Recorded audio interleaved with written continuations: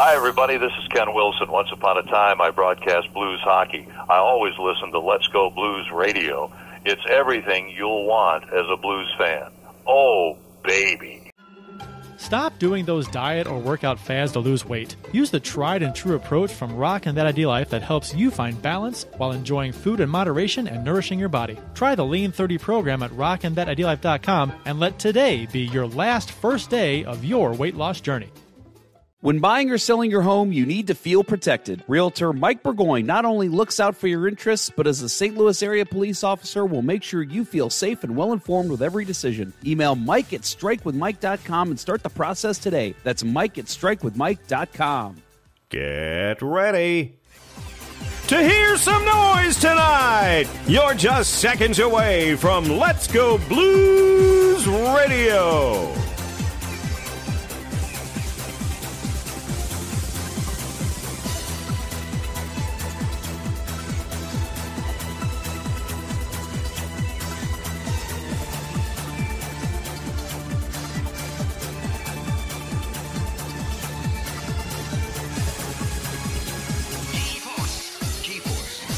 No doubt about it, eh? You're listening to Curt, Bill, and Jeff on Let's Go Blues Radio, the original St. Louis Blues hockey fan podcast. Take it away, boys. Welcome to episode 25 of season 13. This is episode number 456 all time of the often imita- imitated, never duplicated.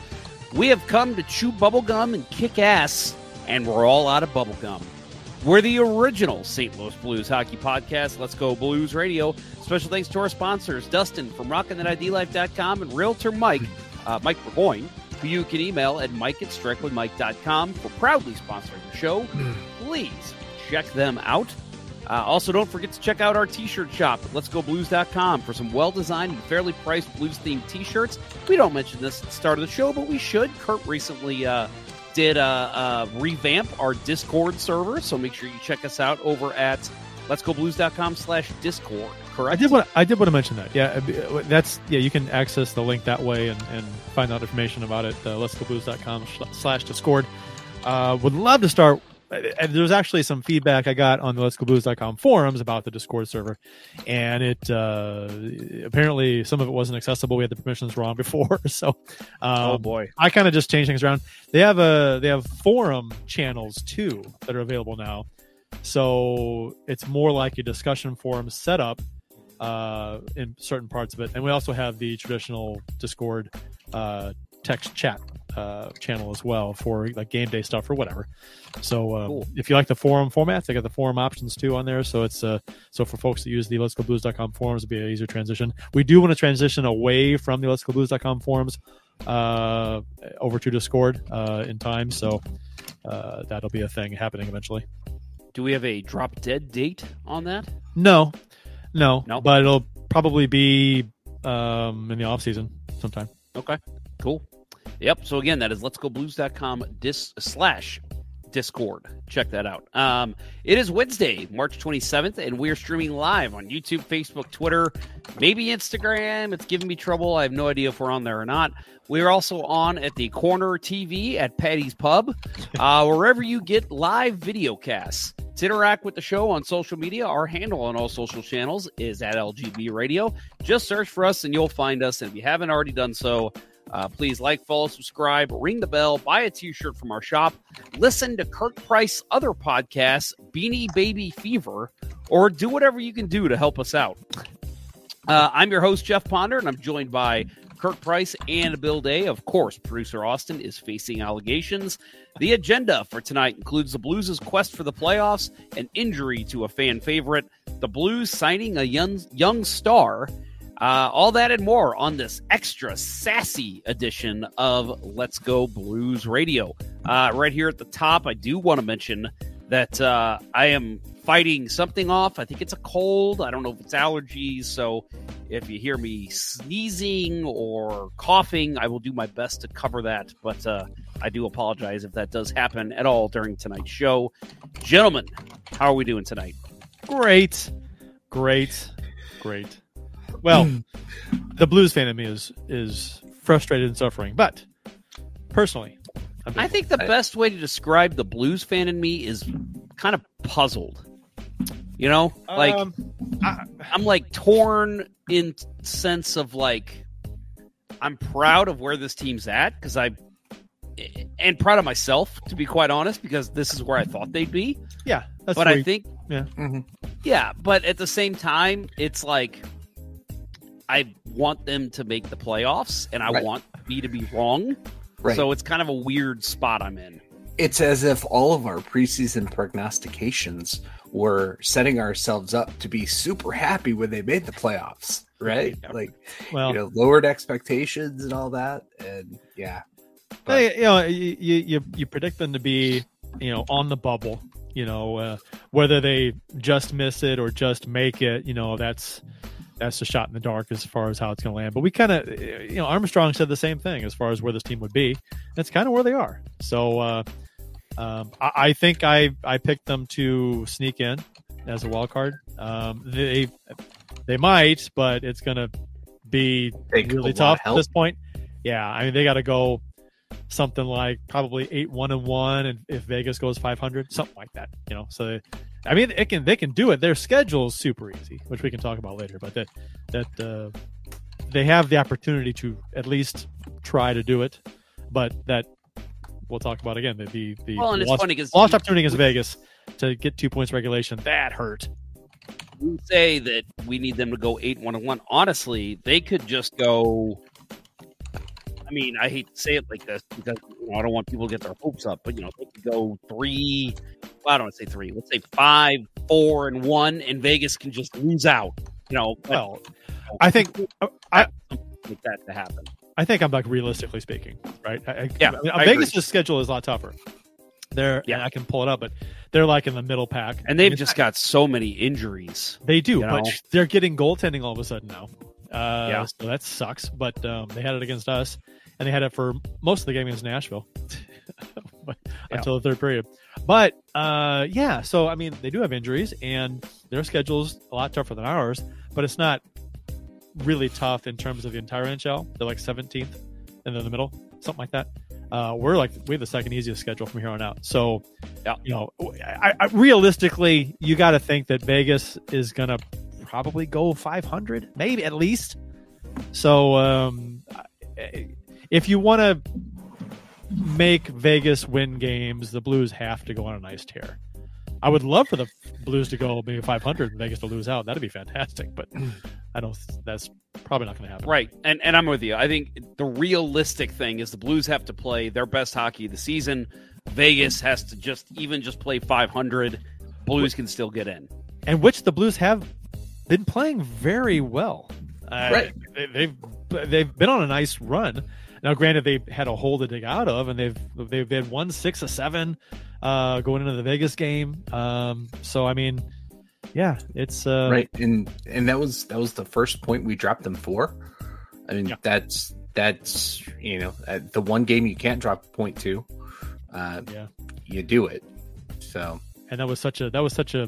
And we can talk about it when we get to it, but that was a that was a good game. I mean, it was. That It was, a exciting. really good game. It just couldn't, could not. I mean, they got they got really good out. goaltending. Yeah, I mean, they, But out of both the blue. teams. They did. That, yeah, that was what that was Mhm. one of those games where it was like Binnington played great, but Thompson played that just little bit better, and it's Mm. unfortunate. i think the gap was a little bit wider but they they were both good well, and he Yeah. had massive save on the breakaway on Hayes. And well, well, we, we Yep. yeah. We'll get to that we, later. we had a whole segment on that yes, we do. We do. Um, and uh, I'll add. Uh, let's see. I actually have two things I want to talk about. First of all, uh, I did mention before the show started. Uh, Bill, I did get a new kitten. He's running around here somewhere. I was going to hold him up. Uh, three months old, beautiful black cat. Um, wonderful, sweet little boy. Um, we decided to name him Nandor De Laurentiis. That's his full name. oh that's beautiful I, I don't know Uh, the reference. Explain the not- That is yeah. it, it's a deep cut from what we do in the shadows the tv show not the movie uh nandor is one of the main characters but uh his real name is nandor the relentless he's like an old warrior viking type guy uh, who becomes a vampire living in Staten Island, and uh, he goes on the news in the latest season.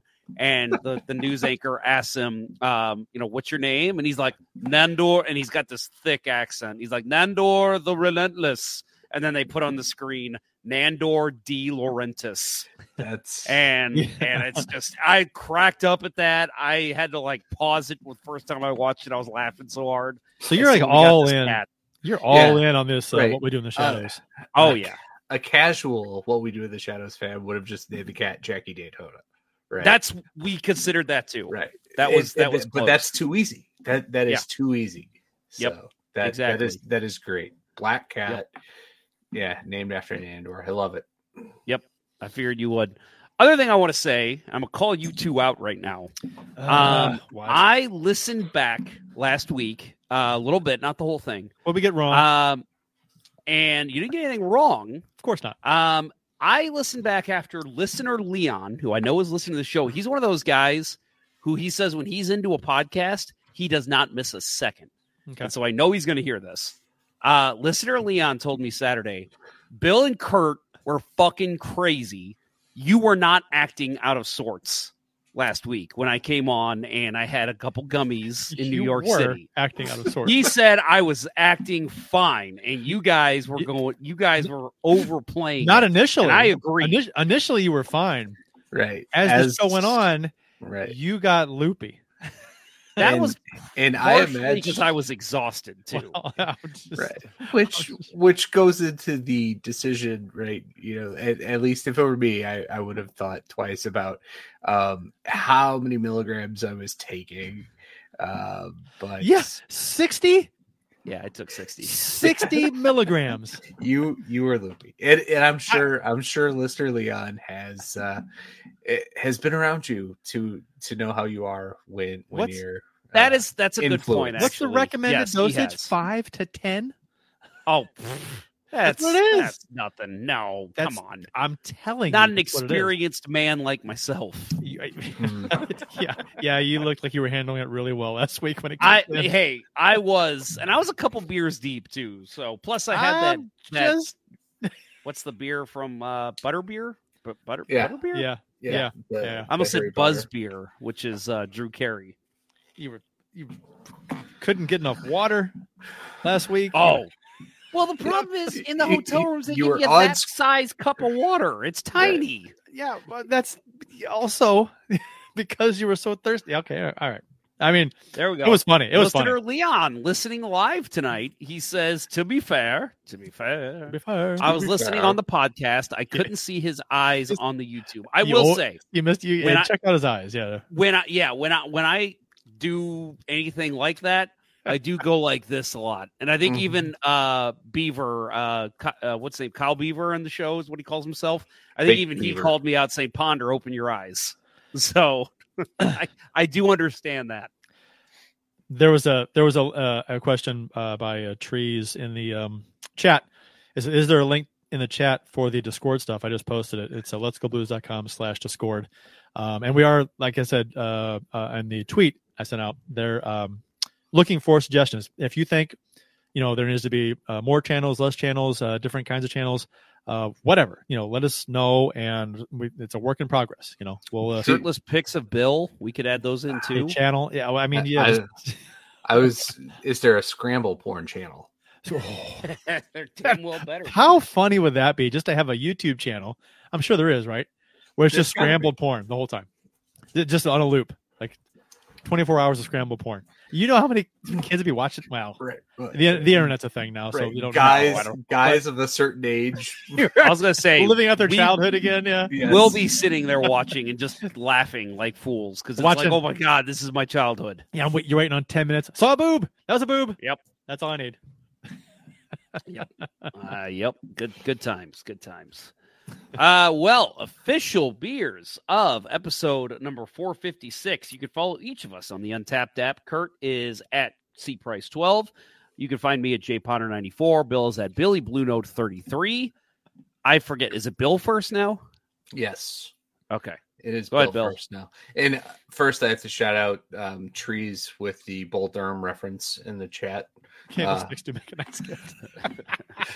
It's it's I Bull it. Durham's time. Right, it's Bull Yeah. Durham time of year. So Yeah. it, it, that's yeah. I couldn't place it, and then you said that. That's it. That's the meeting on the mound. Yeah, yeah, yeah. That was hilarious. Yes, love that movie so much. Uh, I I will I will debate that that is the greatest baseball movie of the '80s. It's so close between that and uh, no, no, Major League. Eh, Major League. Oh, Major League. That's that's the best, Yeah, in my opinion. I like Major League. Major League's. That's they're my favorite. Both they're so neck and neck, but just different different kinds of comedy. Yeah. Yeah. So Agree. the- I just so. Major League is just more my kind of comedy. I mean, I Yeah. can quote that movie all day long.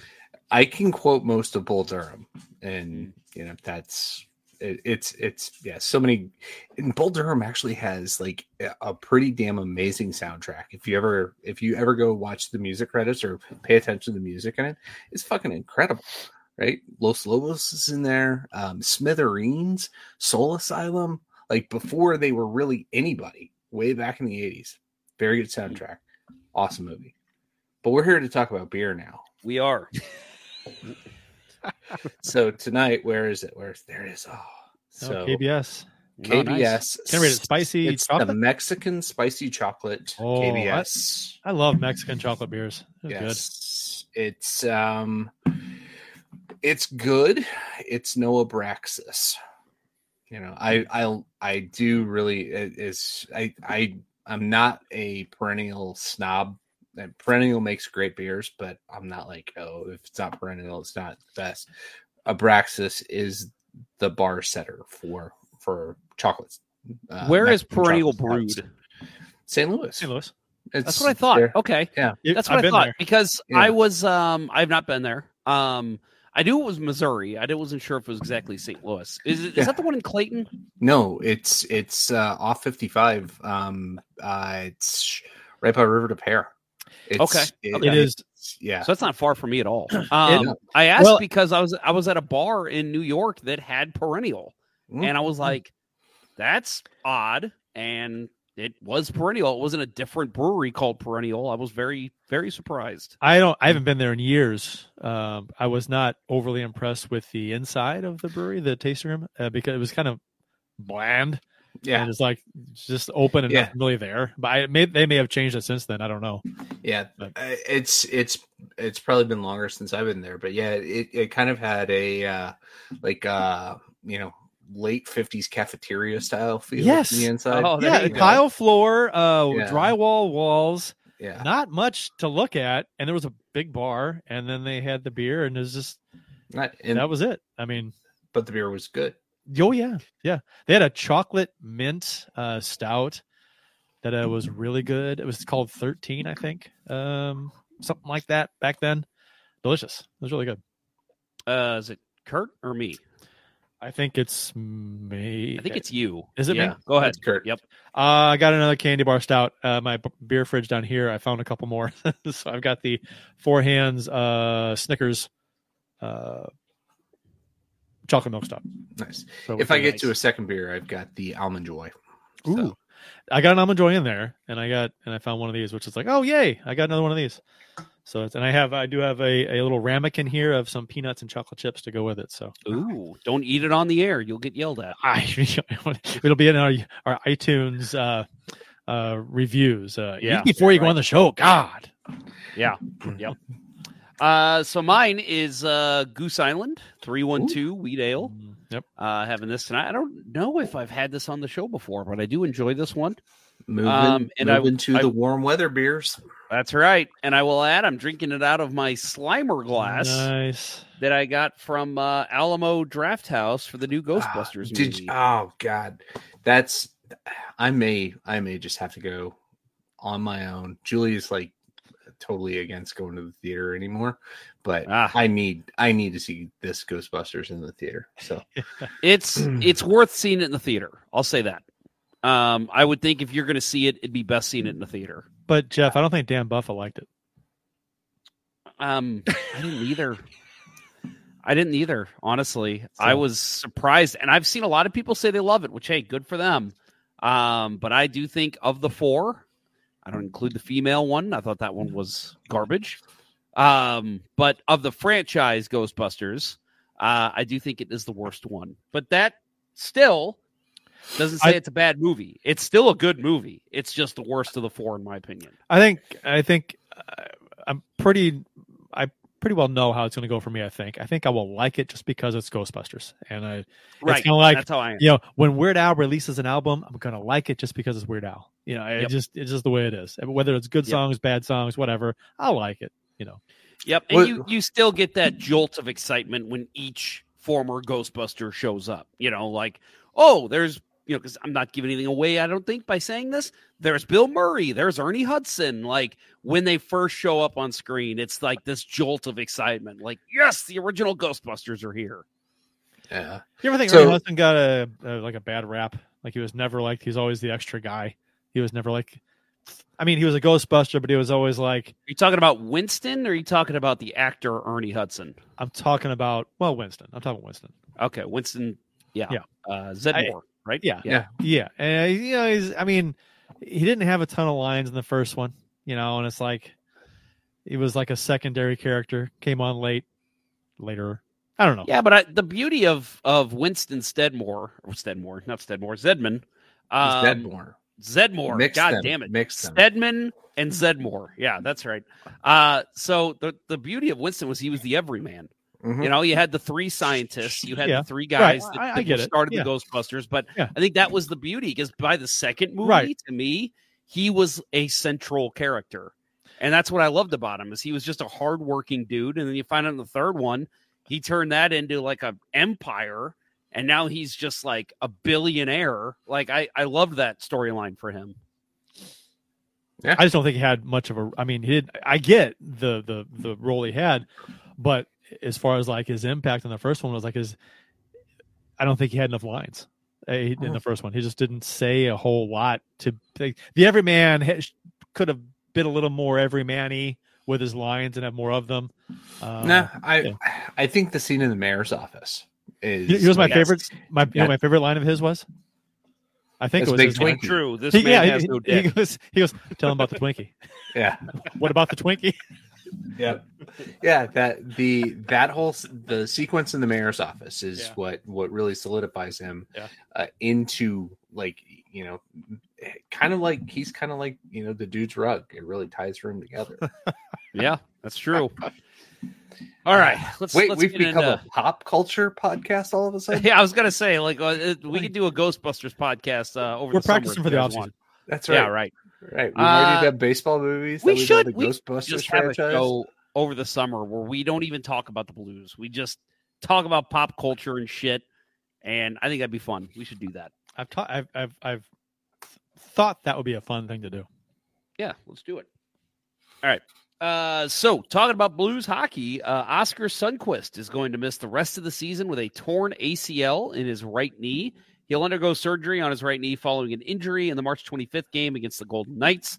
Uh, Sundquist was checked in the corner in the offensive zone by Vegas defenseman Brayden McNabb and went down awkwardly midway through the second period. He was helped off the ice by his teammates and Blues head athletic trainer Ray Barile and did not return to the game. After going uh, after undergoing a further evaluation, it was determined that Sundqvist will require surgery and will be reevaluated in six months. Sundqvist has played in 71 games for the Blues this season, posting 21 points, six goals, and 15 assists, and 32 penalty minutes. Um, so, if anybody knows anyone who's had an ACL sur- uh, injury or surgery, they're so weird because we saw uh, pictures today. Lou Korac posted, and I- un un uh, undeservedly got some shit for this after the fact. He posted a picture of Sundqvist standing on his own power, no no uh, no crutches, no well as far as he could see, no boot, uh, and just watching practice. Oh And yeah, he was like, from outside- well, uh, on this other glass, right? yeah, and Yeah. he was like, it, perhaps he's okay. Like it, it might not be as worse as we thought. Well, then this came out, and everybody's like, this aged well. And it's like, if you know anyone who's had an ACL injury, you can still walk on it. You can still even run on it on certain points. But there's just certain things you can't do. Like you can't pivot your body at all. You can walk in a straight line. That's it. Your lateral And movement's so- probably no good. So, Yeah. And so for for him to catch shit for that, I thought was bullshit. oh, it's- but it's- good for good for Sundqvist. Uh, getting the surgery now and not waiting. I, I'm not saying they would have, but clearly they found this issue. Hopefully he'll be back. Uh, let's hope maybe by mid October. do, do you expect anything less from Twitter though? I mean, No. No. the fucking toxic culture that I mean, you, if you say anything, and, and you know he's making an observation. He's not a doctor, Right. Yeah, He's making an observation. Oh well, he's standing. Maybe it's not as bad. Probably what any of us may think. Uh, oh, is he's not on crutches, or he's I don't see a leg boot, a leg caster, and it's just, God forbid, you know, you you jump on somebody for just reporting what they're seeing, you know, and giving uh, uh, their perspective on what they're seeing. I, I, I, I fucking hate Twitter sometimes. That was Part of the reason I stopped doing what I was doing because I was just like, I don't think I can handle doing this for my career or the rest of my life. Like every little thing I say is scrutinized and put under a microscope. It's like needlessly. you said, Yeah, it's like you said, the dude is just making an observation. Here's a picture of Sundqvist at practice for those of you who can't be here, and he looks okay by my eyes. Like, I don't think that's a bad thing to tweet. and, and they they wouldn't like it if all he do, did would be just be like a robot and say, "Here's a picture of Sundqvist." That's it. You know. like, Oh, Yeah. yeah. Thanks for the insight. Yeah, right. Yeah, it's damned if you do, damned if you don't. Yeah, I, people are morons. I- especially you know the keyboard warriors, right? Sitting at home, Keyboard just, warrior. yeah, it- yeah. It- it- it's it's it's toxic, man. Mm-hmm. Well, anyway, so the injury itself sucks for the Blues, but it looks like uh, they are trying um, Zach Dean in his spot at least tomorrow night. So we'll see how that goes. But uh, It's like a. I think we're gonna the, the the silver lining, I guess, or the plus to this. right. that we're we're gonna get some see a time. Sure. Dean, a Bolduc. We're gonna see these guys get time now, like more than ever during a a good playoff stretch run that um you know is going to teach them a lot of valuable lessons about playing in the NHL. And plus, the Blues is uh the Blues is uh the the, the Blues is the Blues is the Blues is the Blues is 10 p.m. Do you know where your children are? Oh, Jeff I got Glitch. I got I was got like reaching for it. I'm like, why can't I click this button? um, you know, and, and so the Blues as young kids are going to be getting a shot here, and I think that that's. eh, Oh, I was going to say the fourth line. There's some skill there with Walker and Toropchenko and and maybe even a Sammy Blais if he comes back in the lineup. Like there's still some skill there. These aren't. This isn't a Reeves and Porter situation, so he's still going to be playing with guys that might be able to score a couple big goals. Here's the big thing for me though. He's not on the power play anymore, which I was I was done with that a while ago. yeah. So who replaces him? I I'm betting it's going to be Hayes? Kapanen. Cap. You know. I'm betting Well, it's going to be Kapanen. You, I'd rather it be Bolduc. How about In front of the net? Toropchenko? And Toropchenko, yeah, Toropchenko would and be Hayes. great. Hayes in front of the net. Yeah, I mean, because that, that was that was Sundqvist's role, right? I mean, it was floating around the front of the net. yeah. So mostly, Or or let Brad Richards mix it up a little bit. Ta take some other things, right?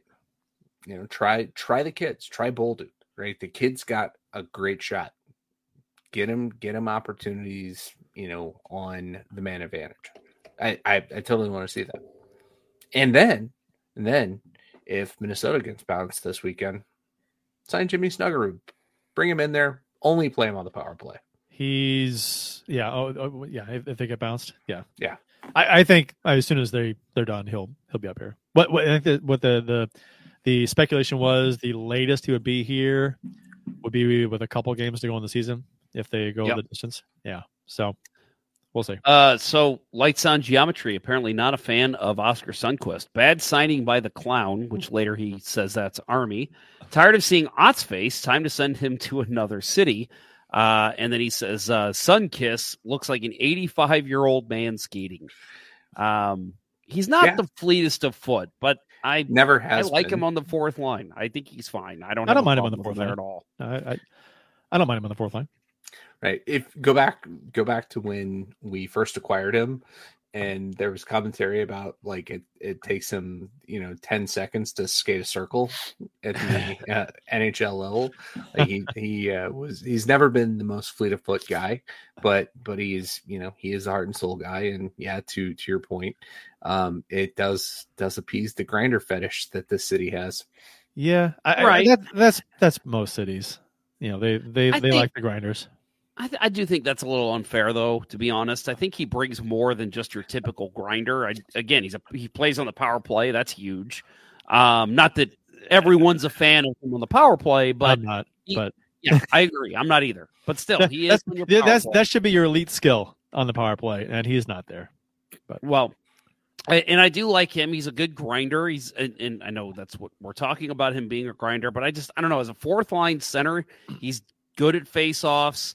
He's a good body in front of the net, and um, I, I think his his skill with the puck again, not the fleetest of foot, but I think his skill with the puck is above average in terms of fourth line centers. He also doesn't. I think he he doesn't like Steve Ott. Yeah, So, which I'm curious as to why. I mean, when the power play was sucking, it's easy to point your finger, but power play has been good since Spanish has been here. Yep. So and I Brad didn't like that as a Richards and, player. And Brad Richards, right? I I don't I don't I, I don't hated know. As a player, but as a coach, it, it's hard to gauge how important an assistant coach really is. yeah unless you're in on the practices and and Yeah. yeah, and on the bench in a game. It, that that is tough. Uh, really, you're looking for okay, what does the assistant coach control, whether it be the power play, the penalty kill, whatever coach is, was working with that, and how is that segment of the team doing in a game? And if you're not getting production from that, from what they're responsible for, well, then it reflects badly on the assistant coach. So I, and I- the problems with this team, I don't think are necessarily uh, with Steve Ott, but you know, you, you could you could have said that to start the season when the power play was awful. So I don't know. Lights on Geometry does say uh, goes back to him as a player. Yeah, I I hated him as a player too. When he came here, I hated him. When they re-signed him to that ridiculous deal that he did not earn, I hated that more. Fuck. But Why, why not hire Kirk Maltby and put what? get the fuck out of here? Okay, Lights on Geometry, you're going nuts here. Kirk Get out of Maltby, you can handle Kirk Maltby as a player, but not Steve Ott. No, I think he's saying it's, He- the he's same making thing. an equivalency Yeah, he's saying it's no Ah, different than putting Maltby on the bench. Steve Okay. Ott, the player, was always a low rent Brenden Morrow to me. yeah, and I agree. You know that he was Or- he was a guy in in the in the uh the Morrow build, and that you know that Morrow was one of the gems from the Dallas organization that Armstrong always looked for, and you know I. I Ott had what he was captain in in Buffalo.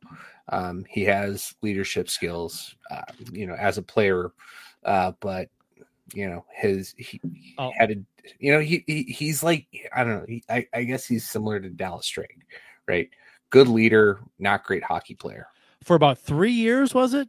He was Yeah. a, uh Steve Ott was like a fantasy hockey Right? Oh yeah, great player yeah, Brenden fantasy Morrow hockey. too. because he Yeah. Ott put up some uh, a handful. Of, he put up enough points to be a decent option as a forward, and he got a lot of penalty minutes. So he was he was like uh, he filled out a number of categories for uh, Yeah, if you hockey. went- Plus minus two. If Yeah. if you were Yeah. in a, On a an. ESPN league with default settings, those two guys were fucking money. yep, yep, yep. Well, I think we're going to take a break. Uh, we got plenty more to talk about here, guys. Again, the Blues uh, did sign uh, one of their young rising stars, as well as uh, win a couple important games, get some points in these games. We will talk more about that on the under this break, other end of this break. Uh, you are listening to Jeff, Curt, and Bill on Let's Go Blues Radio. We'll return after these messages. We've all tried a diet or workout fad at one time or another, but it always ends the same, right? We either lose the weight and then get back to our routine, but then put the weight right back on, or it just simply never takes hold. It's time to move into a habit based program that focuses on organization and simplicity. Rockin That IDLife's Lean 30 lays it all out for you with the correct food to eat, how to meal prep, and even sprinkles in plenty of healthy recipes. With Lean 30, you'll get the full ID Life arsenal, including energy for that needed kick, a tasty Nourish shake for your needed fiber intake, Slim Plus to help control your cravings and provide a metabolic boost, Lean capsules help bust those sugar cravings, and IED Nutrition gives you the added punch you need that takes the guesswork out of what supplements to take. Join the many who are seeing success and make this your last first day on a new program. Visit rockinthatidlife.com to get started, and remember to email Dustin at rockinthatidlife at gmail.com for an extra 10% off exclusively for Let's Go Blues radio listeners. Start your transformation to the confident, vibrant person you've always wanted to be with rockinthatidlife.com. St. Louis hockey fans know how it takes a reliable captain and a team of hard workers to achieve major goals. As a police officer and a hockey player, realtor Mike Burgoyne would wear the C in any situation. As a leader in the home buying or selling process, Mike has surrounded himself with a team of trustworthy inspectors, lenders, and escrow officers that work together more cohesively than Hall and Oates. And as a member of many teams in his life, Mike knows the service our first responders, veterans, nurses, teachers, and yes, even you Let's Go Blues Radio listeners provide the community, so he offers special rates to those individuals. Find the value in Mike's leadership and teamwork today by emailing him at mike at strikewithmike.com or calling 314-753-4060. He'll work closely with you and only show you the homes that match your goals. That email again is mike at strikewithmike.com or call him at 314-753-4060 and succeed with your new teammate today. And now back to Let's Go Blues Radio, the longest running St. Louis Blues podcast with Pri- Pri- Price, Ponder, and Day. Hey, real quick. Yeah. Did you see what Light Sound Geometry said in the chat about? Did you hear I'm about, reading it now. about uh, what Ruby said on the on a Philly podcast? Ruby said on the Philly podcast he had to talk to Hitchcock each day on a video call, and apparently uh, Hitchcock is still kind of coaching this team. I know he's still on the payroll. That's Right. known, but I didn't. Yeah, That man, really? according to Every Brube, that's what, and according to What- Last on Geometry, that's what. What podcast? Uh, Lights on Geometry. I'd love to hear that. Yeah, Um, because That's- that's, true, that's- that is that is odd. Yeah. I mean, and coaching to what degree? You know, is he just like, is he, did he have to talk to Hitchcock or it was like a, like a conference call kind of a thing? We're just going over things and Hitchcock's in on it. You know, I don't, I'm, I'm what degree are we talking? Yeah, about? if it's like Ruby's like, yeah, I call him because I want his advice every day. Okay, that's a little different. But if it's like I'm mm-hmm. told I have to talk to Hitchcock every day, that is a major issue. well, I hope that's not the case. it wouldn't surprise me if they have like some kind of a conference call every day um, about the previous game or the practice or whatever they're you know whatever or looking forward to the next game and all the assistant coaches and uh, armstrong and uh, whoever you know uh, brad richards right so and i Whoa. and with hitchcock being on the payroll it doesn't sup- i mean I, I guess it doesn't surprise me Do you notice something interesting about this uh this thing I just pulled up here, this comment from John Anderson? assuming vegas wins five games which two do the blues lose oh How about the fact that that's a Twitter comment? Have we seen that pop up on here before? i don't think so Interesting. Okay, apparently you can comment on Twitter. That's Yeah, cool. uh fantastic. Yeah, 'cause we just we just see the feed that comes in. There's a little icon next to them all, and that's uh, yeah, that's the first Yep. Twitter comment we've had. That's a good question though. It's a really good question. Yeah, so which- he should which- get he should get comment of the show just for He breaking new ground and asking a great question. Comment of the show, John Anderson. Congrats. You win nothing except my admiration. because we've got uh was it one two three four five six seven eight nine so yeah the blues play dallas uh carolina edmonton and nashville that's the toughest teams san jose twice chicago anaheim uh, calgary and uh seattle so you got to figure they'll might though you they've always played dallas tough so i wouldn't pick Mhm. dallas i'd Yeah. probably pick nashville and carolina Yeah, maybe definitely. No, you you know they're going to do a total blues thing, and they'll beat Nashville, they'll beat Carolina, but they'll lose to Anaheim and Chicago. San You know? Jose back to back. oh Yeah. Yeah, I um that's that's a great question. Um because you look at the schedule, the Blues do have a pretty easy schedule, but there are a few tough teams in there. So uh yeah. I, I I- I'd say Carolina and Nashville. Those are the teams. I I mean, I'm easy sorry. picks. I'm sorry. The the teams that would lose to would be uh Carolina, and yeah, Nashville. I'm going to say San Jose and Chicago. Just because that's a total Blues thing to do. And Uh, John and one Anderson says Calgary and Edmonton are his picks. Okay. So they got so uh, his question was uh, if, if if Vegas wins uh, five, that would give them a sixteen point lead. The Blues would have to go eight one and one because they they need seventeen points. Right. So they have to take one of those losses would have to be in overtime. Oh, that's I know, man.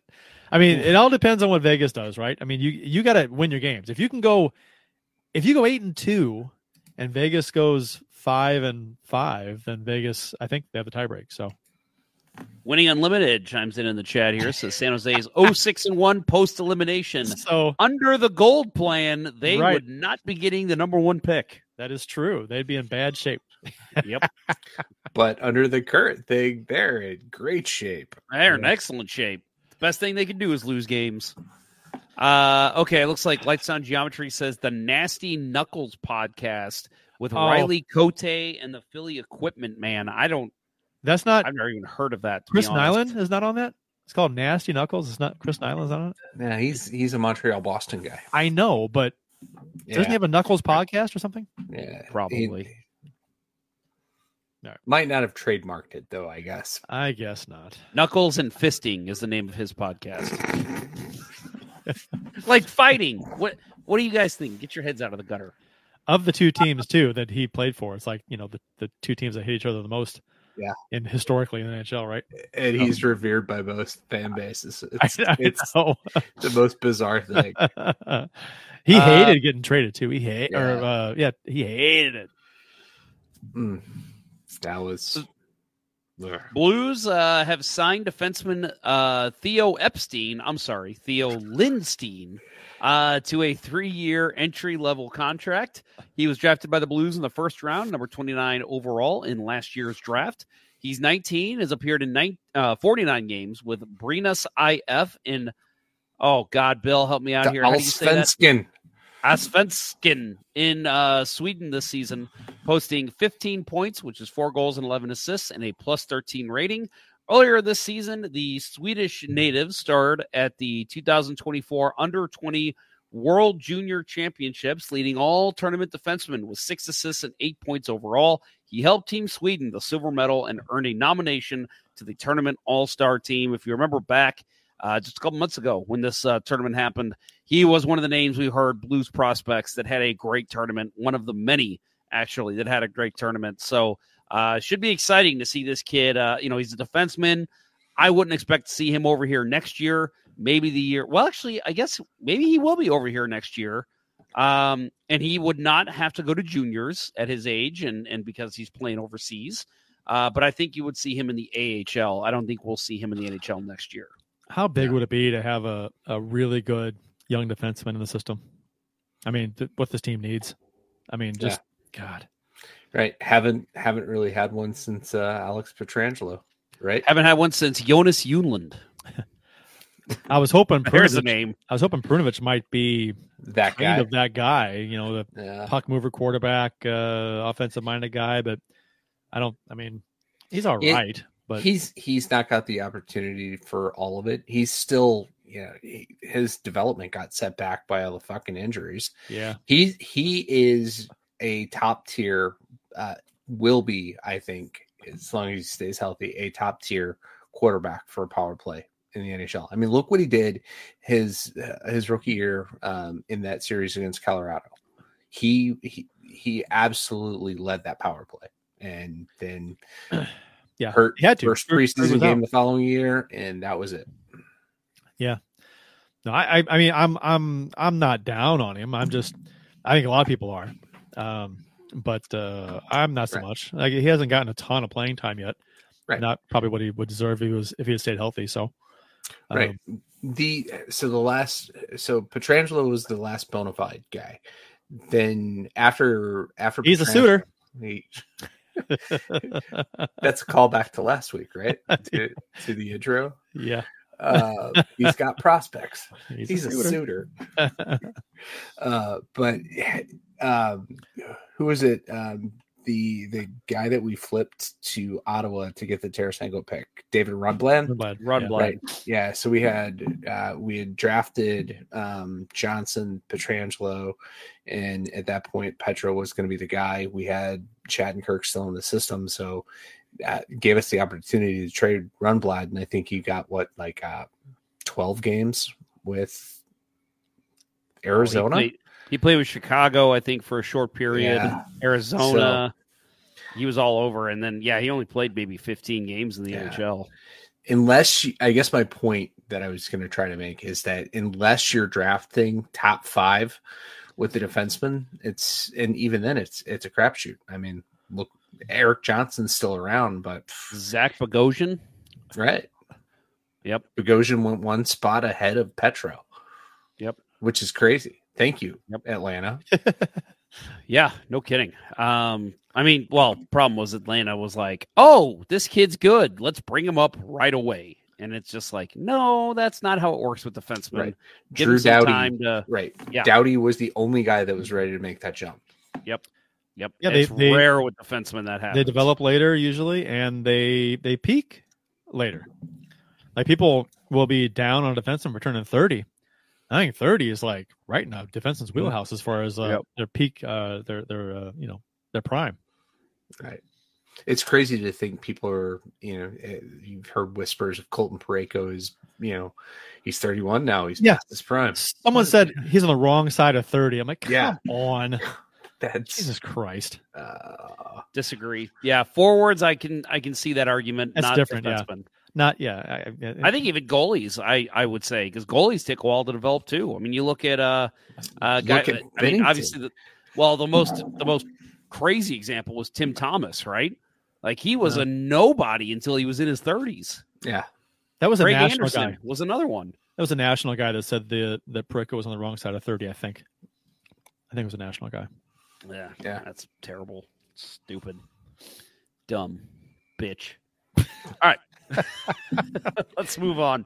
Uh Blues uh so the after the Blues' 4-3 loss to Colorado at home uh last Tuesday, the Blues got back on track with a 5-2 win over Ottawa Thursday night.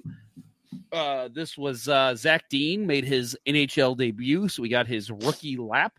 Uh played 841 on the ice for the Blues. Um what I always try to say with these kind of especially defensemen, but forwards too, really, if you're not like a Connor Bedard. Um, I don't really want to notice you that much in your first game because typically that would be a negative thing. I hardly noticed him out there. I saw him out there a couple times and I was like, oh, there's Dean. Um, Yeah, but you know, played a played a nice quiet game. Yeah, no, I agree, and I I guess that is a good thing. If if you did notice him, then you'd probably be looking at turnovers and uh, Yep. missed assignments and stuff like that. So if you know, Or losing pucks in corners, something like that. And Yeah. I don't Or feel like I noticed that at all. With him, bad so- pass across the middle, boy, you, Right. well, you you you want to get benched as a as a uh, as a kid, and then shall make a bad cr- pass pass across the middle gets intercepted. Yep. in your own Yeah. zone. But if Oh. you're a veteran, you can do it all you want. oh yeah, sure, uh huh, yeah, Yep. Buchnevich, for Right. example, right? Yeah. Yeah. Or Justin Falk or Oh, Yeah. yeah. Yep. Yeah, no, that's that's that's a great point. Um, you know, I I actually think that Bolduc is still um after toe picking, um in uh was was that the Colorado game uh where he toe picked and there was the turnover and they scored.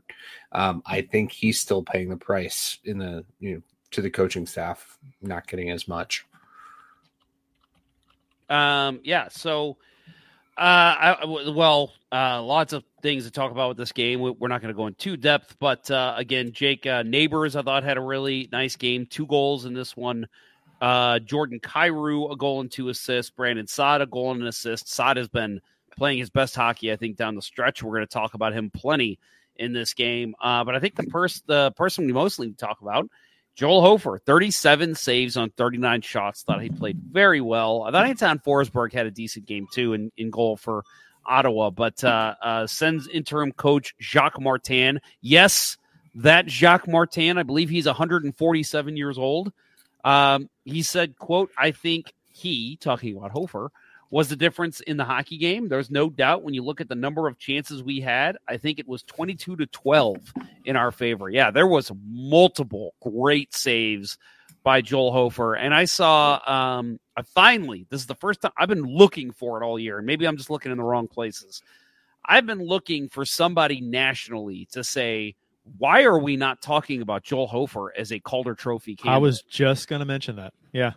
That, yeah, I mean the kid too. is is putting out great numbers. His numbers are matching Binnington's, and he's playing great. Like He's he- up there with the some of the they're better putting him in in in these. bi- I mean, yes, it's Ottawa, but this is a big game. It's late in the year. You need wins right now, and you can trust to roll out your rookie goalie, and he's going to put out his best effort, and that's what he's doing right now. I just love the way he's playing.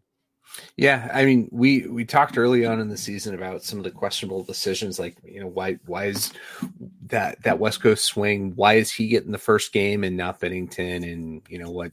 Just there was some weird sequencing, but as the seasons rolled along, and we've talked about it on on you know many episodes of the show this year, uh, he's been used more as a one B than a two, and he's he's earned it right? It, it there were a few minor growing pains.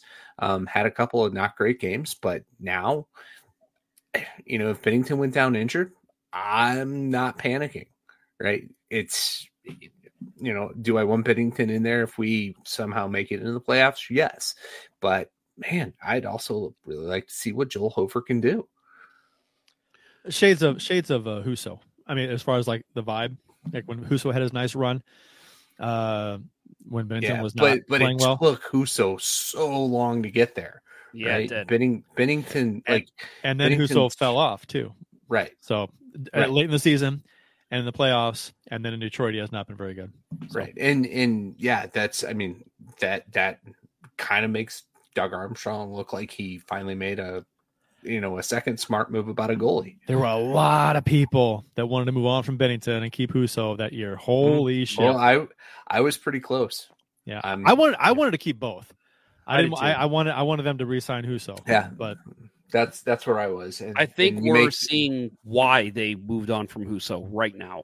This is Yeah. why they knew Yeah. this was coming. Yeah. They they made the right call and goal for the first time, right? Like get rid of Husso, let Hofer get his chance, Well, and that's exactly right. what's happening. and and, and uh, uh, signing Binnington to a longer contract, I think was the right move. I agree. for Yeah. the first time ever, right? They've signed a goalie to a long-term contract that they should have, I guess.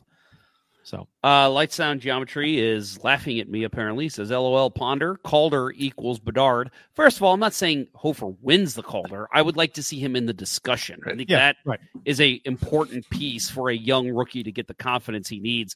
Second of all, I think Brock Faber and the Minnesota Wild would like to have a conversation with you, Light Sound Geometry. exactly. That kid is fucking incredible.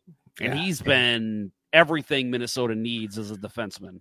Right. I you know i i think if, to bedard's detriment right yeah i think there were people who believed that he could single-handedly put that team on his back his rookie year to make the playoffs. And those kinds of expectations especially after getting the broken jaw right that's they they've just weighed too heavily. And faber is having an insanely good what rookie comes into this league and leads the team in ice time every night? He and and does it with positive possession play right? Yeah. he's not a stay-at-home defenseman. I mean we'll talk about the goal that he scored to tie the game right? He he has great instincts pinches and contributes. Yeah, and lights on geometry. I was just gonna say similar. He says his nerd numbers are insane. Yeah, his analytic numbers, and again, this is where I think analytics comes into play. I think it it helps you determine is this guy what I'm actually seeing, and I think with analytics, it's showing he is fucking great for Minnesota. He's putting up. I mean, he's leading the play. He's breaking up plays. He's he's starting the offense. Uh, You know, Bill Yeah, but that- he scored a big goal against St. Louis. Yeah, but that stuff is is not doesn't a lot of that stuff doesn't show up in box scores, and it's not that's not the sexy stuff. You know, Bedard's almost a point a game guy, Right. so I know. that that's that's what's going to win him the Calder. Right. So- but I would But I agree, but I agree with you. I, I agree with you that there's intangibles that never get the credit that they deserve. uh, in in voting for awards, and also and when you're fucking looking at analytics, so many intangibles that they don't factor in. So, which we've talked about so much. I would love Yeah. to see a Calder voting of it'll probably be Bedard, Faber, and Hofer. Like I would love to see Hofer in that discussion. Yeah, I'd love to see him in the discussion. I don't think there's any way he could he could play every game the rest of the season, not give up a goal, and he still come in second at best. Right. I think it'll be the same as when Binnington was a rookie. Um, the reason Binnington didn't get it, they said, is because He, He came in too late. He came in too late in the year, and so they gave it to the guy who was there You know all year. Even That's- though Pettersson really didn't show up the second half of the year. Right. That's yeah, that's Uh, bullshit. still. Because I agree. it shouldn't matter if he came in uh, in January or not. He put this team on his back, and he he carried them to a to near the top of the conference uh, by the end of the season when they were last, and then you know the rest. I mean, the cup Yep. champion. You're not supposed to factor in playoffs though, but still, I don't care. Right. That he was Well, I mean, just Jordan the Binnington- alone. Jordan Binnington that season was the most valuable player in the NHL. agreed. he, he didn't win the award. Right. I think he should have been in the in talks That- for Not even a question. It's not even a question that he Yeah, was the most and- valuable player. MVP and Conn Smythe. Yep. Yep. Agreed. Yeah, uh, you know what? I, I if he had if they hadn't scored that goal on him late in the game 7 Mhm. that's a tie. Who it's a toss up between him Right. and Riley. It's a toss up. Right. Yeah. Right. That I think the emotional edge goes to him for pitching the shutout in a game seven. Right. That's the Yeah. stuff of legend. And, and that shot that beat him, unworldly shot. That thing Yeah. was. I mean, no goalie stopping that. It was it was bar down through Grizzly? traffic. Right. Yep. It was bar down through Yep. traffic. Yeah, it was that was fantastic shot. Yep.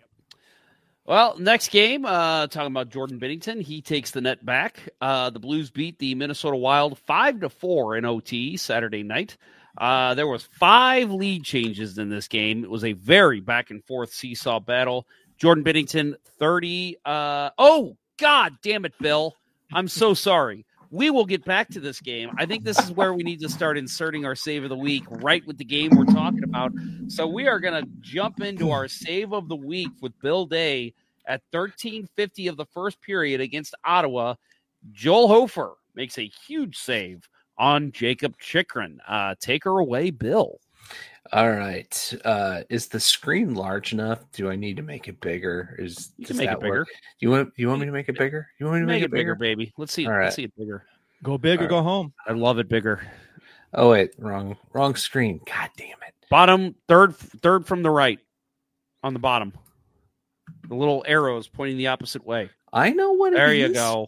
There you go, sweetheart. But but I also need my script. There you go. Oh, I'm You- sorry. You're ruining it for me. Let The him beauty his of a live show here. Yes. Let him do his the thing. beauty the beauty of this Leave whole thing. Bill alone. I am gonna play it from where it is here. That's All perfect. right. So, so save of the week, as Jeff mentioned, goes to Joel Hofer in the Ottawa game. We're going to watch this come through the first time. Um, and, you know, to borrow a phrase from Curt, you know, at first glance, this whole thing looks like a bunch of monkey monkeys trying to fuck a football, right? Just pucks flopping everywhere. You know, what's the goalie doing? But let's let's take another look at this. Look at this insanely great pass. First, Oh, yeah, yeah. Brady Yeah. Tkachuk with that sweet pass. Then Chychrun scoop shot gets pops the rebound up in the air. Like how do you how do you not skate past that and, and actually get that? And then Tkachuk, Tkachuk gets position on Parayko while the puck's in the air and ankles himself so that he can knock the puck back across. And look, Leddy does a flyby, but who doesn't? Chychrun. Chychrun's right there, snipes it back at the net. But the most athletic play of all here, Joel Hofer. Watch right here on the slow mo. He picks up Brady Tkachuk's stick uh, and sees it go the other way, mm. barrel rolls back around, throws the pads up, gets him in front of the puck, keeps it out of the net. This this was an insanely talented play by three elite athletes, culminating with the save of the week from Joel Hofer. I mean, God, it every time I I do one of these breakdowns, I'm like, oh my god, my I, like I just tore three abs watching what he just did. it, it's it's insane. Like, and when you get back to that the overhead view where just watch his face, watch his eyes are on it, and he's he's actually I think following Tkachuk's stick. He's not following the puck. He saw what where Tkachuk's stick went, and then does the barrel roll to get himself in position. Just insanely talented player right here from three Yeah. great players. Joel Hofer, man, I love that guy. I was amazed at that pass from from Tkachuk because any any other player in the world is just like I just need to try and chop this into the net. I don't care where my angle's at. He knew where Chychrun was. He put it right on his tape, and he knocked it out of the air. Like what I what I so love impressive. what I love about this sequence uh, and and Hofer's play here is that uh, I love uh, the all hands on deck uh, uh, goal mouth scrambles. You know, it's chaos. You really see what goalies are made of uh, when they've got to scramble around, and it's no longer okay. You know, uh, you know, whether you know the the uh, opponent is passing the puck around, you're trying to look through screens, trying to keep your angle, trying to keep your your your, position between the post where you are, and it's, it's none of that. There's no. It's all reaction. It's all athleticism. It's just a quickness from side to side. It's just you know like how how how much can he bend his arm, uh, bend his spine, you know, to make this save and flop around. It's just you know, and, and to stay within himself and Right. slide out of the goal, right? The the control, right? Yes, like right. I I can make that spin, but I'm probably gonna like barrel roll to the corner or something. Right. Yeah, It's Yeah, just that- yeah. that's what you see. What that's what you see. What goalers are made of. Those those uh those uh, chaotic scrambles in front where they they they they keep track of the puck, and they're they're just trying to play as big as possible and take away as much net as possible, uh, wherever that puck's bouncing around to. So it's Yeah. it's just that's fun to watch. Yeah. Yep. And, And, and I'll add too that uh, you mentioned the vision, Bill. Like the fact that he doesn't take his eye. I mean, he, I, I, I think you're right. I think he does take his eye off the puck, but he's still like, okay, how are the players reacting around me? And he notices that Tkachuk whipped his stick across, and it's like, oh, okay. The and you see his head turn, and it's like, oh, okay, I need to look this direction because the puck's coming from this way now. Like, just the wherewithal to be there for that. I mean, I play hockey all the time. I don't think I can f- track the puck that that that that's crazy. yeah. No, to to this moment, my my neck is like in spasm. Just thinking what it takes physically to do what Hofer did in that sequence. And yeah, I mean that that they're going back through the games and picking which save it was. ah, God, this was so. I mean, he had really really good saves uh, throughout this game, but this was by far the best save of the best goaltending performance of the week. Yeah. I'm gonna uh, piggyback on Light Sound Geometry's comment here. Lo- love seeing neighbors diving to block the shot. Yeah, he comes sliding in to try and help out there. It's just uh, fantastic effort, which is what you see on a nightly basis from him. Uh, trying just trying to do what, whatever he can on the back check to uh, to help out. Yep. So Yeah, I agree. I just Jake Neighbors has thrust himself into one of my top three favorite players right now. Yeah. I mean, he's just been incredible. for sure and you know that the the unfortunate part about that sequence to me was nick leddy like what the fuck is he doing he he he thought he was following chychrun to the corner and chychrun posted up and took the pass and leddy's like oh wait there's a play behind me I and, and neighbors and schenn are both going down in like pad save style to try to to get something on it uh, I'm not. I I know I've said on the show I'm not a Leddy fan. If they if that's on him a thousand games don't I know we're getting ready to talk good about him, and I will add, I think skating offensively, he's great. But God, defensively, he is a fucking train wreck. He never has his guy. We saw a backdoor play. I think it's in this upcoming game, right? Um, where uh, uh, I don't remember who it was, but somebody scored on him and Parayko. Parayko was trying to play the pass, and Leddy wasn't doing anything. He was just standing there. I just defensively, he's a train wreck. I Yeah. I'm not a Nick Leddy fan. He he and Justin Faulk are are liabilities right now. Yes. on the defensive Yes. side of things. Say Uh, Faulk the- had a bad play in this game too that led to a goal. Money Puck uh, had the Blues, uh, the, the Senators, winning this game 74.2% of the time uh, in a thousand game simulations. Yeah, I, I ran it a couple times while I was watching, or after the game was over, and I was watching another game. And yeah, every time it was Ottawa on top, at Mm-hmm. least by sixty five percent. Yeah, yeah, they a they yeah, they they came to play that night. But did. Joel Joel Hofer like delivered like that, and that you know to set the stage for for the the you know the big two games. Like that's the game you can't lose. They entrusted it to him, Yes. and he was fucking lights out. Yep, agree. Well, we will officially move on to the Minnesota game. Thank you, Bill. Always uh, an, an insightful and exciting uh, conversation with Save of the Week. I'm so happy we implemented that. We owe everything to Ken Morris, but you get nothing, Ken Morris, for coming up with that idea. Uh, Blues beat Minnesota 5 4 in overtime Saturday night. Uh, five lead changes in this game, as I already said.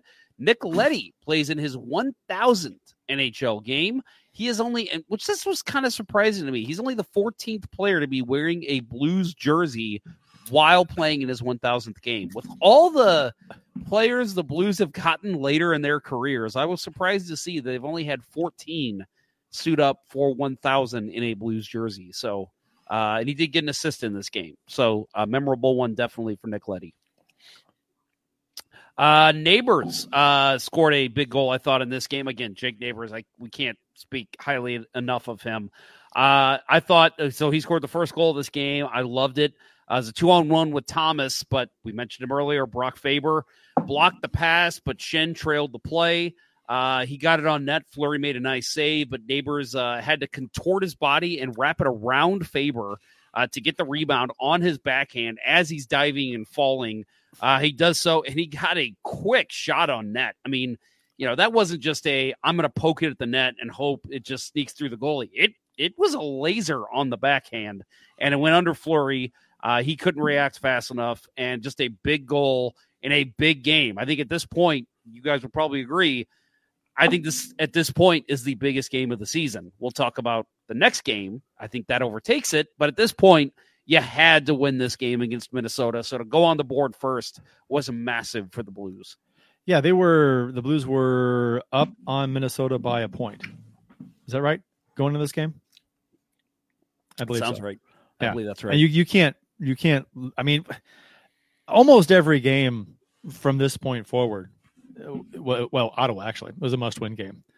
For this you can't lose to Ottawa like we talked about and Minnesota you're right there with them neck and neck. You can't lose to them.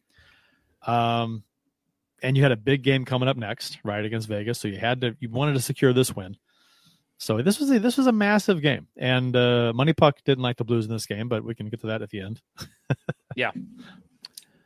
So Jake Neighbor is not the only one uh, who scored a big goal. Jordan Kyrou comes up big, scores a hat trick in this game, uh, and uh, Pavel Buchnevich also has th- adds three assists in this game. The thing I liked about Kyrou, and and we've talked good, bad, neutral about him all year.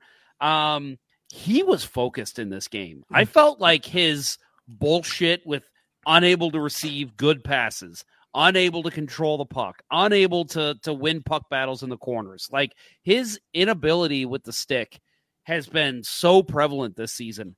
This was Jordan Kyrou of two years ago that Yeah. we saw in this Yeah. game. He was receiving passes, he was making plays, and most importantly, he was firing the puck. I think that is where his best attribute is.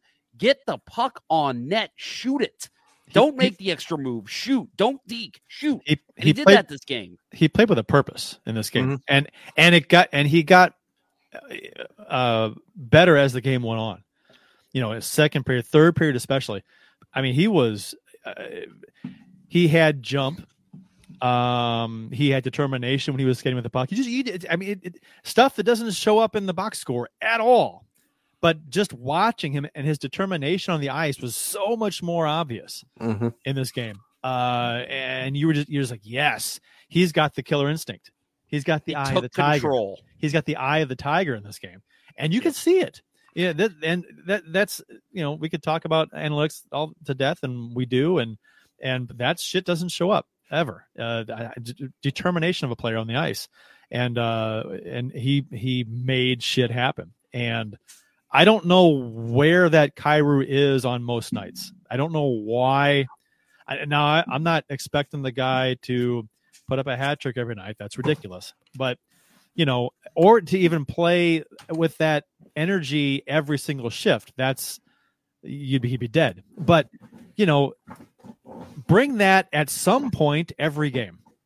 You know, bring that for half a period or one period a game when it when it comes down to it. Let's see it. Uh, it that, we haven't seen this more than a handful of games all season. No, I um I, I'll just add real quick to your point. Um, and I'm not trying to make a comparison to Alex Ovechkin here, but if you watch Ovechkin in his prime, that's what he would do. He would pick his moments to just be like, this is where I'm going to go balls to the wall and I'm going to score a fucking goal. Like you could see it when he would take the ice for his next shift. That's what we need to see in Kyrou more often. We saw it in this game. He stepped on the ice at certain points and you could just see the drive that he had and the skating. I mean, again, he's got lightning speed and we saw it in this game. He's firing up the middle, he's firing up the boards, he's getting shots on net. He was determined to fucking score goals in this game.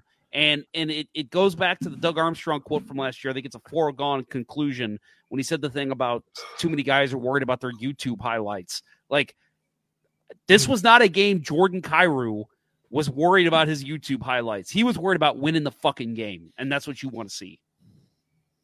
Yeah, no, he was like go back to the Ottawa game. You know, we we talked so much about Hofer. Kyrou was great in the Ottawa game. Goal two assists, right? Set up the first two goals. Great pass from behind the net to Parayko for the the second goal. Um, but he started to me, he played the Ottawa game with a purpose, and then he gets into this game, and you know, it he he was just yeah, he was dialed in and that we don't see that enough from him. I will say, however, that you know, um, and and I have to give a shout out to to Marc Andre Fleury for the Gilles Meloche tribute with uh, the the Wild wearing their uh, their North Stars tribute jerseys. Um, that the first time I saw that helmet, I'm like, oh my god, this takes me back to my youth. Uh-huh. Gilles Meloche, that was his helmet. Um, but he made a Gilles Meloche like 80s goalie effort on Kyrou's second goal. The the shot from way out high, that shouldn't go in. Yeah. But oh, yeah, Kyrou shot the puck. Yeah. Right? And he's got a hard and, shot. And how many goals have we seen Ovechkin score? Again, hate to make the comparison, but like how many times have we seen Ovechkin score like that should not have gone in the net. Well, but it's because he shoots 20 times a game. Well, They're going to go in. He's also, it's also a one timer from the near boards where the goalie's sliding across. We, we, it's, it's not hard to understand the concept of when you get the goalie moving, holes open up.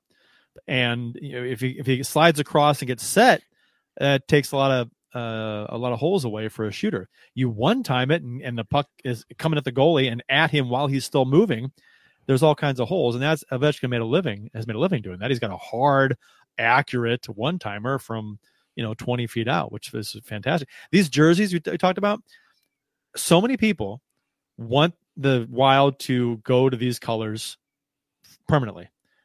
I'm one of them. I love these colors. Same thing with the Blues and their heritage colors. Mm-hmm. Use them every game. You've got a home, you've got an away, use them. Give the fans what they want you know, Minnesota should be using these these jerseys every game. Uh, if Minnesota switches those jerseys full time, Subway has to be their jersey sponsor, right?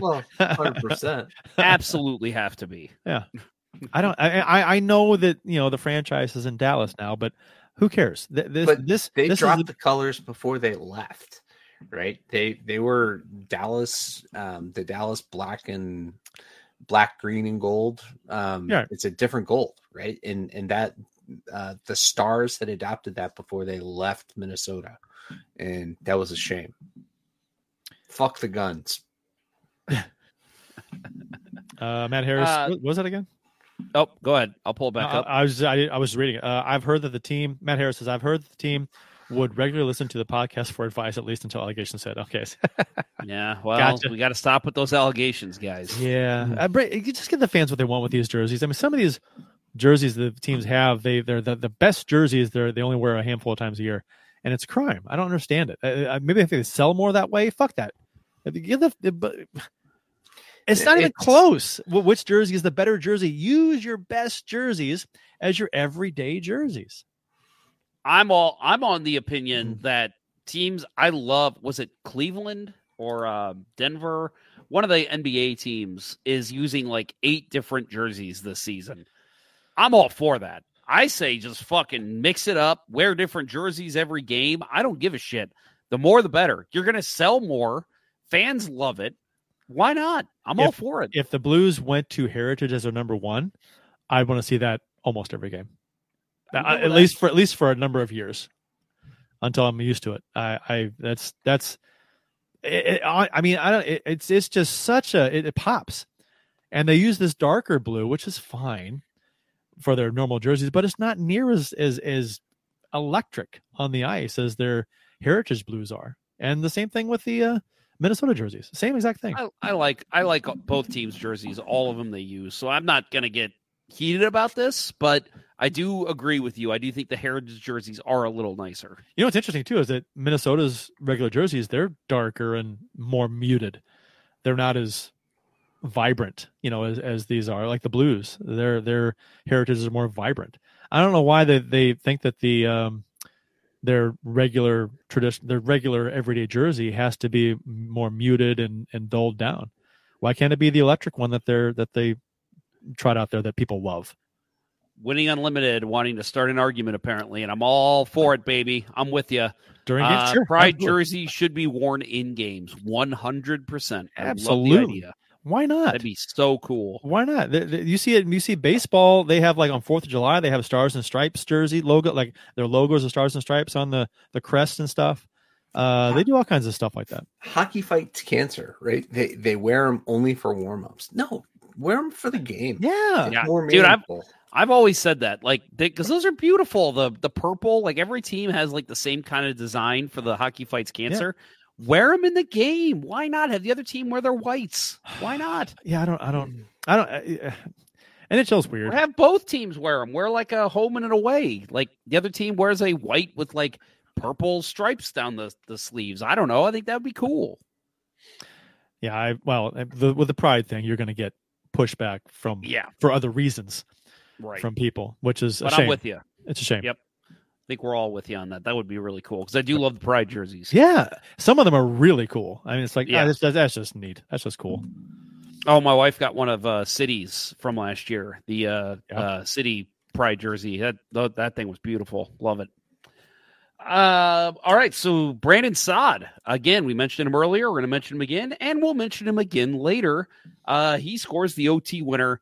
Uh, first thing I want to comment on: How about uh, Kasperi Kapanen getting some love in OT? Um, obviously Bannister loved what he saw in the game and uh, put Kapanen out there with Saad and uh, was it Faulk? Yeah, Faulk. Uh, and and I'll I'll call out too. You know, obviously Saad skated the puck up the ice, made a nice play, split the D, slid it under Fleury's uh, pads. But uh, Jordan Binnington making the right play here. Um, the Blues kind of fumbled the puck, and it was kind of annoying. Um, Faulk kind of lost uh, lost control of it, and there was a little bit of a scramble in front, and then Binnington, or no, he slid it back to Binnington. Yeah. That's what it was. Yeah. And I'm thinking of another goal, but um, yeah, slid it back to Binnington. I'm thinking about uh Vegas's OT winner, which we'll talk about. Um, but yeah, he slid it back to Binnington, and Binnington had the state of mind, even though the guy was coming right at him and was right in his grill. Slid it over to Faulk. Faulk finds Saad. Saad skates it up. Just a very mindful play by Binnington to keep the play moving and kind of catch Minnesota off guard. And Saad puts it in the net. Blues win 5 4. And who is it? The uh, Minnesota player does a flyby of uh, of Binnington. If he stops at the Mhm. doorstep, Yeah, There's it a- was there's a- Boldy. yeah, there's a face off Yeah. He, right. he, doesn't, he doesn't give the puck to to Faulk. Yeah. So Boldy does the flyby, and Yep. then Boldy winds up being the guy who's back. And for whatever reason, um, you know, as the Blues enter the zone on the right side, he stayed way off to the left instead of He did. pinching off the center, and Yeah. he gets Yeah. out the lane. and you know it, that one of my favorite things about the game was the synchronicity of the broken sticks across the crossbar Yeah. between Boldy and Fleury. That was so fucking fun to watch. Yep, yep. Yep. Agree. My daughter pointed that out. She's ah, the goalie smashed the stick over the goal. I'm like, yeah, the yeah, the uh, Boldy did too, and uh, both Yep. sticks shatter. It's great. Yeah, Boldy, that- that's a learning. gone. Yeah, just like yeah. that. It's not their money. Oh, it Um, is.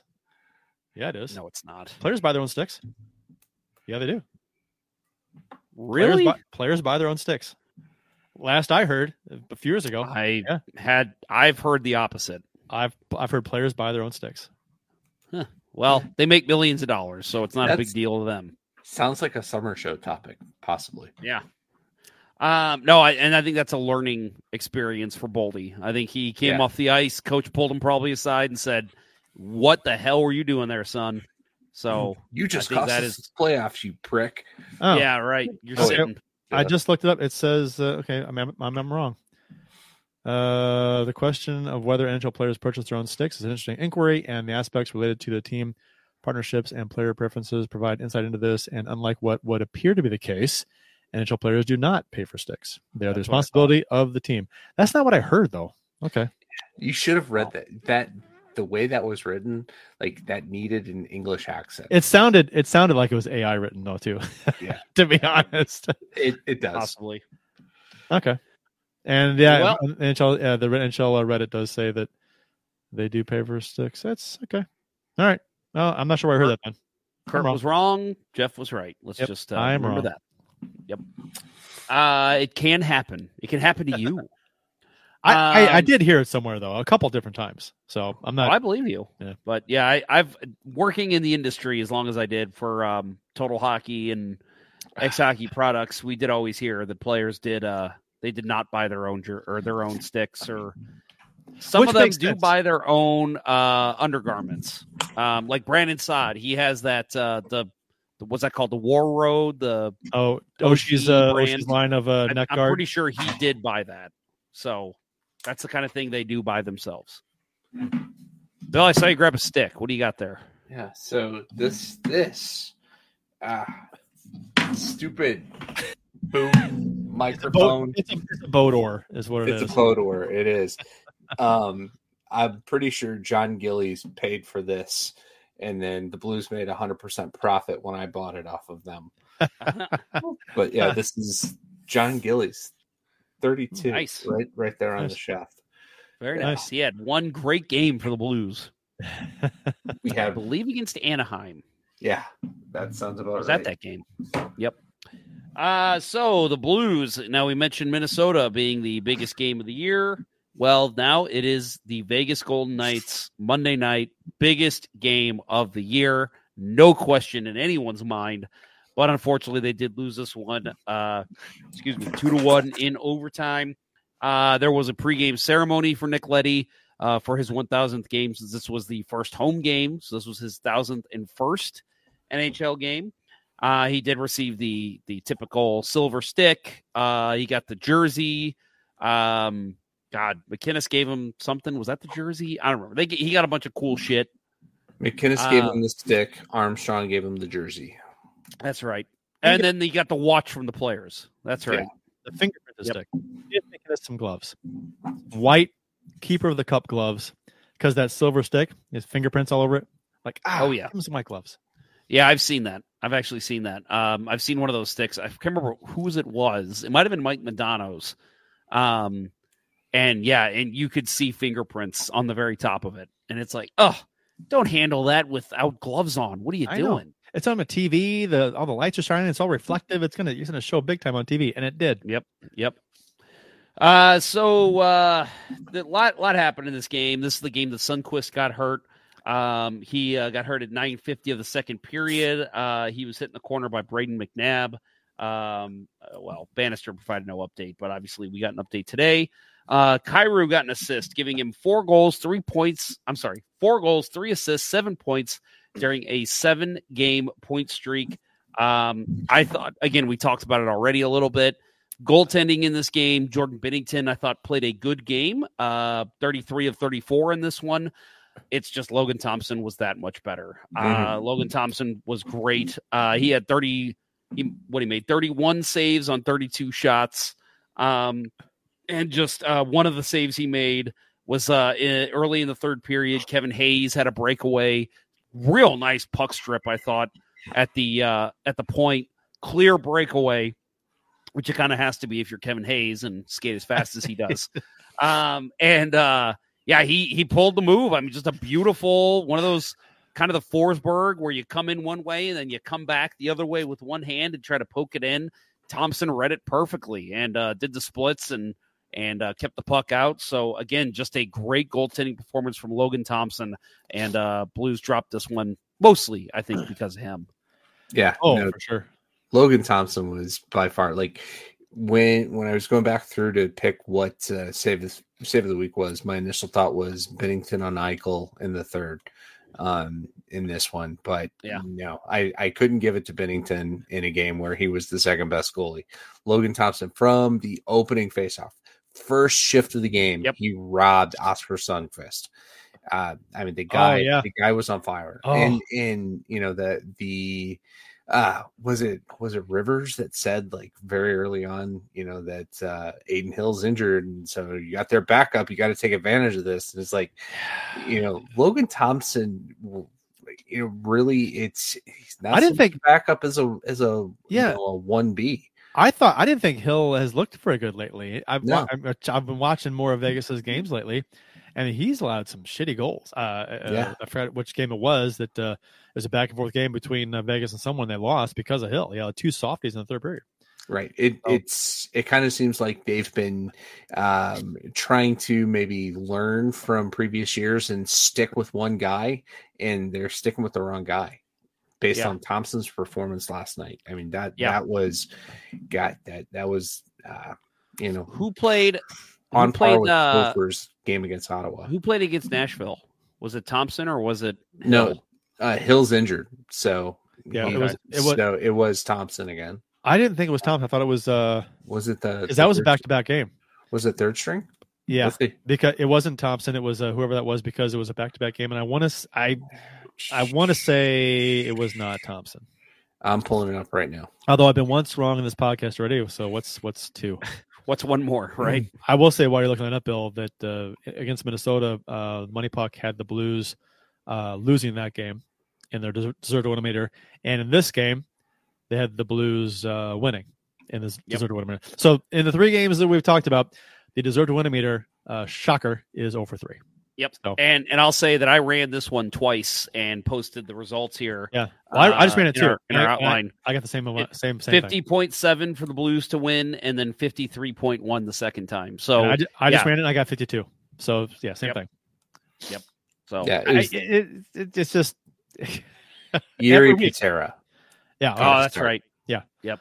Okay. So and and so the the goal side scores, fantastic play by by uh uh Kyrou Schenn? to get the puck Kyrou up to too. Yeah. yeah that's what I said Kyrou to get the puck up to uh uh Schenn, who Schenn. nice beautiful cross ice backhand right on Saad's tape, and then shovels it in. Uh, on And Thompson got of, a piece of it. underside of his glove. Yeah, Yeah. almost got Yep. it. Almost. But, uh, that would have been but man- a stave of the year candidate, right? I mean, that- that, was that would have been ridiculous. Oh, especially considering this, the game situation, the time of the Mhm. Yeah. game, and what the game meant. Yeah. Absolutely. Um, Right. So I and this game obviously going bonkers, and the Blues damn near won the game in regulation. They had a few more chances uh, in the closing minutes. They they were all over Vegas in this third period, um, and which I didn't think the first two periods were very good by the Blues. They didn't play. Uh, I didn't think they played a very good game in the first two periods. They came on in the third, tied it, uh, and then you know, and the Blues in overtime. But that that I thought they could have been better in the first two periods. I agree. Um, and I, I did not like Buchnevich's choice of shot on the penalty shot he had in overtime. Uh, I thought I thought it was telegraphed. I thought it, he let Thompson see where he was going to put the puck because he kind of made a deke and then he like did a little kind of like a half wind up and then shot it. Like didn't really like it seemed like he was going to fake, but then he shot anyway. And it just to You me think- and Bill, you can tell me if I'm wrong. Like I feel like he allowed Thompson to see right where he was going to put that puck. Yeah, he he. I think what he what his intention was was to sell upper glove and get Thompson to raise his glove, but he had, he didn't sell it. And Thompson Thompson read it and got that like getting that hand down as quickly as he did. He saw it in in Buchnevich's eyes where he was going to. So, and that's a situation where Buchnevich is not reading the play in front of him. He is trying to uh, anticipate what's going to happen and shoot it there anyway. And Yeah. and that didn't happen. I I thought you know coming in if you're going to do the little fake deke thing uh, like he did, I I don't know why not pulling it back on your backhand Mhm. and then trying Yeah. to flip it. that that felt was the same thing. That That that seems like the much better move there right. if you're going to try and fake forehand, And I- fake fake. and I a- thought a- he could have. I thought he could have stunned him too if he would have like done the same move where he kind of lifted his stick and then still went to the forehand and went further. I thought that I Mhm. still think Thompson makes the save there, but I think it's a better opportunity for you to try and catch him and then get a shot. You know, a split second later. I just don't think he read what think- was in front of him. No, he. I, I agree with that. He he put Thompson off balance, and if he pushes either side, it's going to be hard for Thompson to recover. I mean, look at look at the bounce he had to make to to you know hold on to the puck after he caught it. It was a good Yeah. save. It was it was a really good save. It, It was a good save. great. yeah, he yes. kept he kept his glove down. It was a, he did a great job. Um, I just yeah, I'm with you. It's like I bet you if he had it do over again, he's like, nah, that was not a, the best choice Yeah, for Buchnevich to do.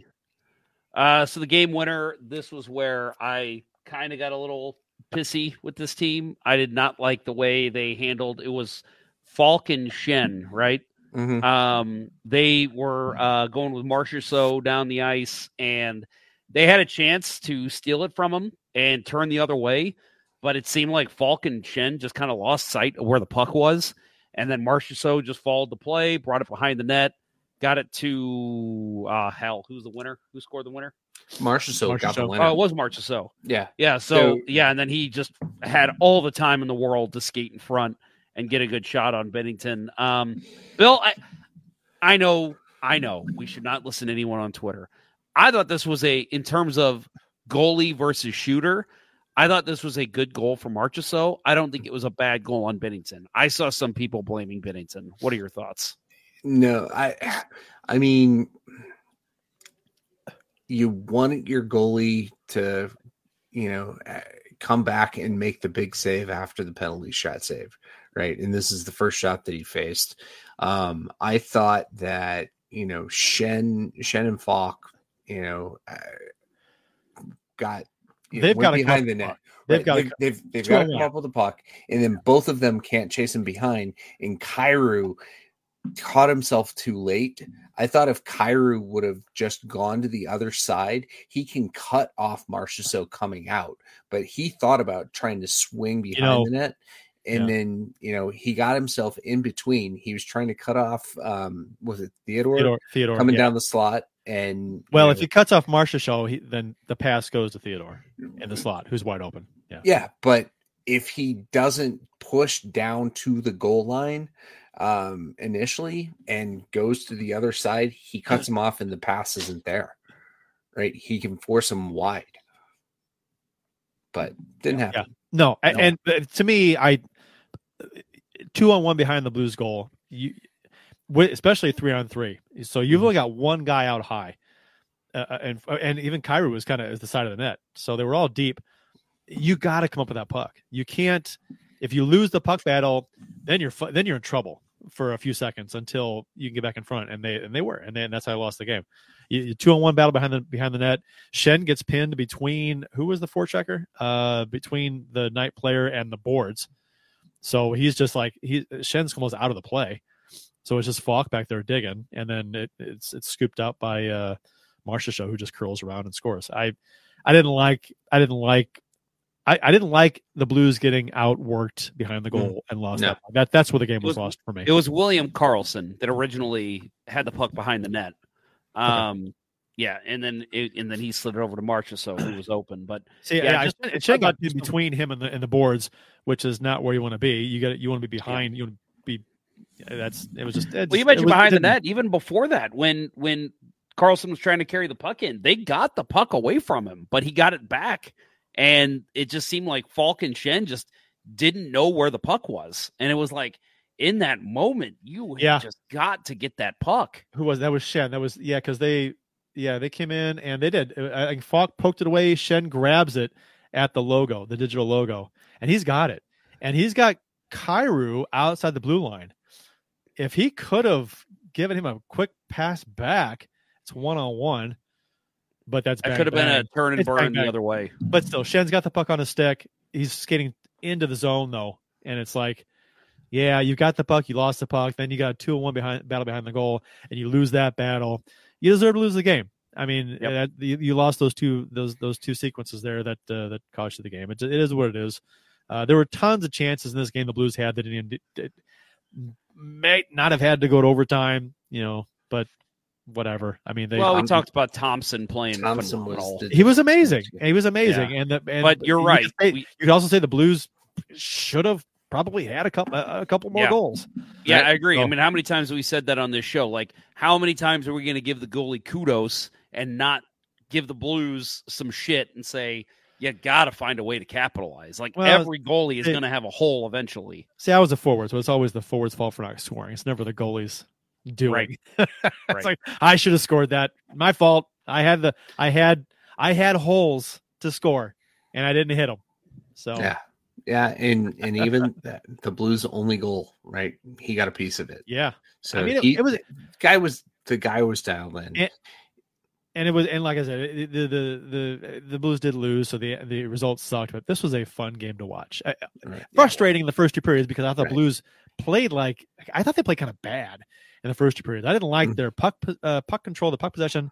I thought their passing was sloppy. I thought Vegas was taking to the Blues for a good chunk of the game. Uh, Blues really came on in the third uh, and and played desperate hockey. And that that if they had played that way, you know, in the second period at least, it might been a different story. Yeah. If Sundqvist scores in the first shift of the game, which uh, he damn near almost did, Mhm. knows what happens. But uh, you know, woulda, coulda. Yeah, no, I, I, I thought the, uh, I thought the, the, the Knights withstood the that opening shift and and Yeah. kind of you know Yeah. the the Blues the Blues uh, settled into their game, didn't play great. Um, the the intensity wasn't great the first yeah, period and a half. Um, I Faulk uh, on Dorofeyev's goal. I mean, come on. You've got two guys covering the guy in the slot, and he goes to cover the same guy and gives Dorofiev the lane to the net. Yeah. That that is just disgusting defensive defensive play by Faulk. Um, but the Blues found their they you know they found the intensity, and that felt like like watching that third period was like this is playoff hockey. This Yes, feels like yes. if this is the only taste we get, God, I want it. It's like here Right. come the Blues. I want it all You- season. They were they were Yeah. all you uh, when the Blues started to come in the third period. Like they're coming, and and and they're they're either gonna the their goal is either keep standing on his head, and the Blues are getting shut out, or we're, we're scoring some goals. There's not going to be Vegas isn't really pushing back that much. You know, this is this is our game to lose at this point. Right. And I th- I thought Kyrou was frustrated in the first two periods and earlier in the season, you know, before this these last three games, you know, he probably sulks in the third period, but he he pushed that goal. He's he's the guy that started the play. Yep. You know, great backhand pass to Schenn, great backhand pass to uh to Saad. And yeah, that I I was impressed by Kyrou showing up in the third period. he he did catch a lot of flack uh, on social media for uh, not following up his previous great game with another good great game uh, in a, the biggest game of the season. Uh, I, I don't it- it- and and while he did have a very nice play on the Blues goal, I I was I was he he regressed in this game. He he took a he took a huge step down from the game before, uh, as did most of the team.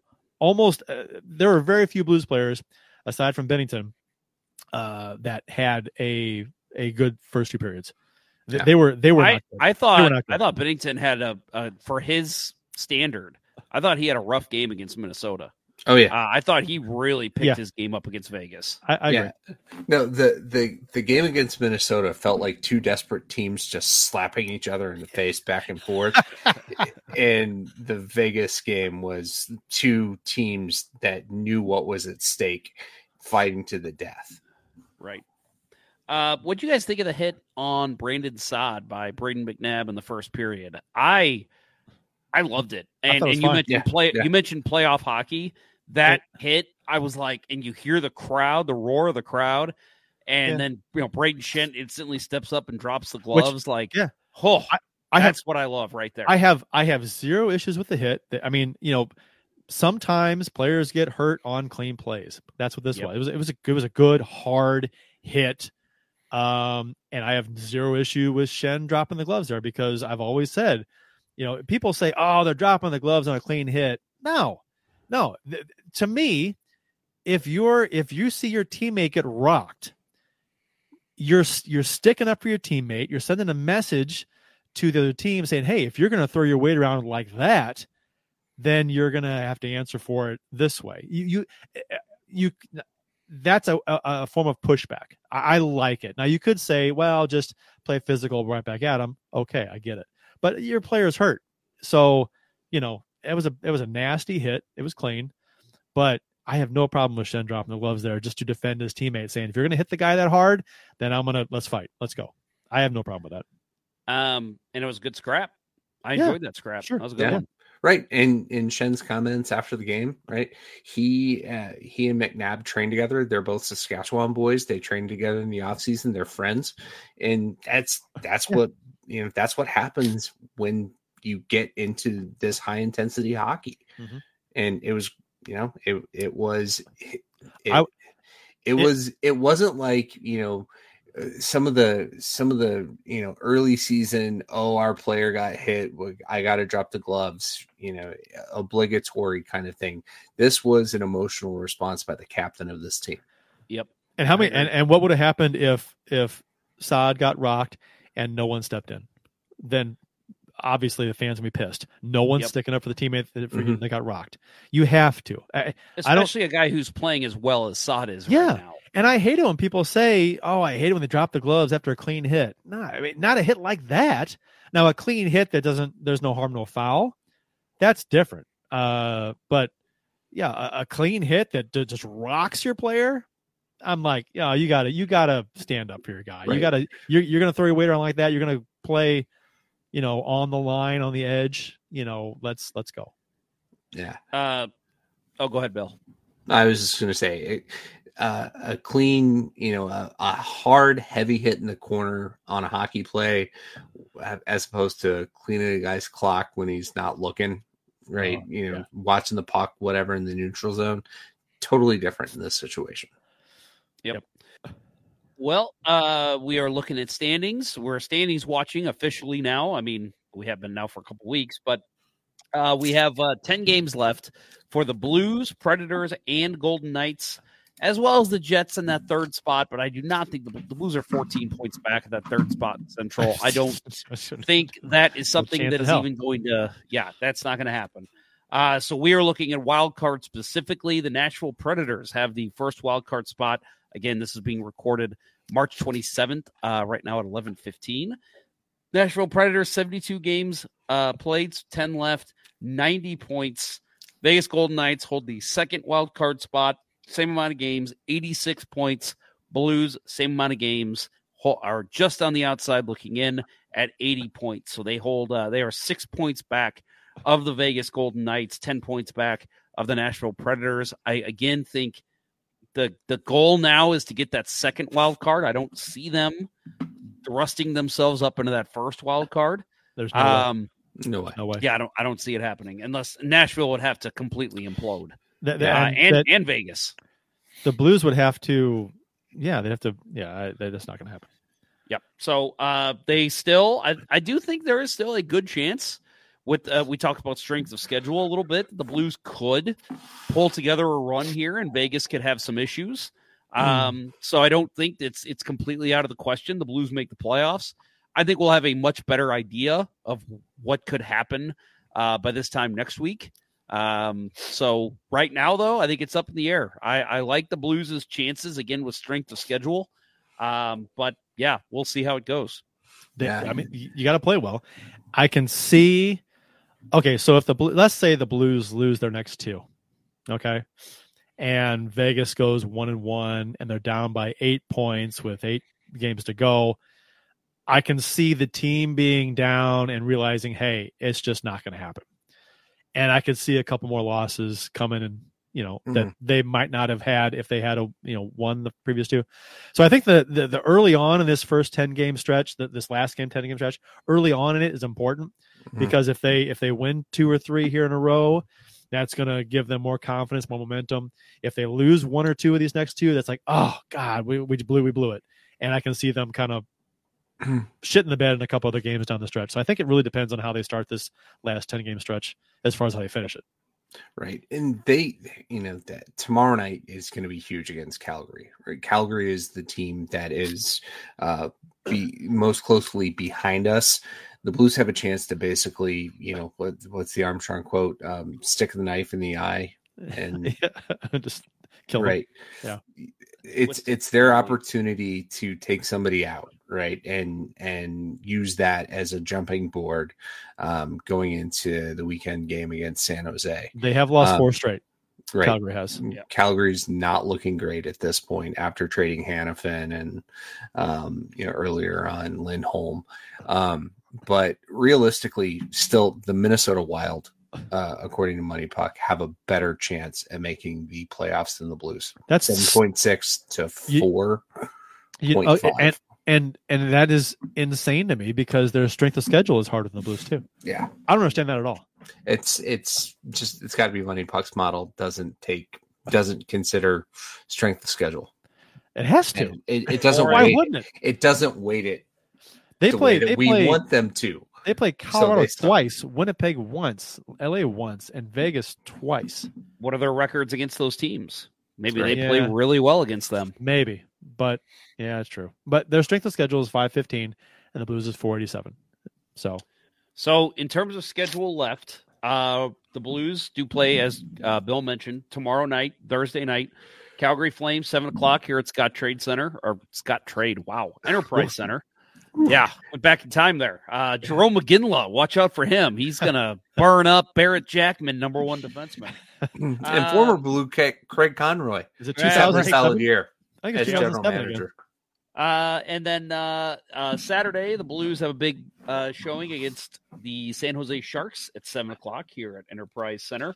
Uh, and then Monday, they play a very good team, in the Edmonton Oilers, eight o'clock. One of their one of their bigger uh, games they'll have this year. Uh, well, remaining in the year. Uh, it's an eight o'clock start. It's on ESPN Plus. I guess that's why it's at eight because it's here in St. Louis.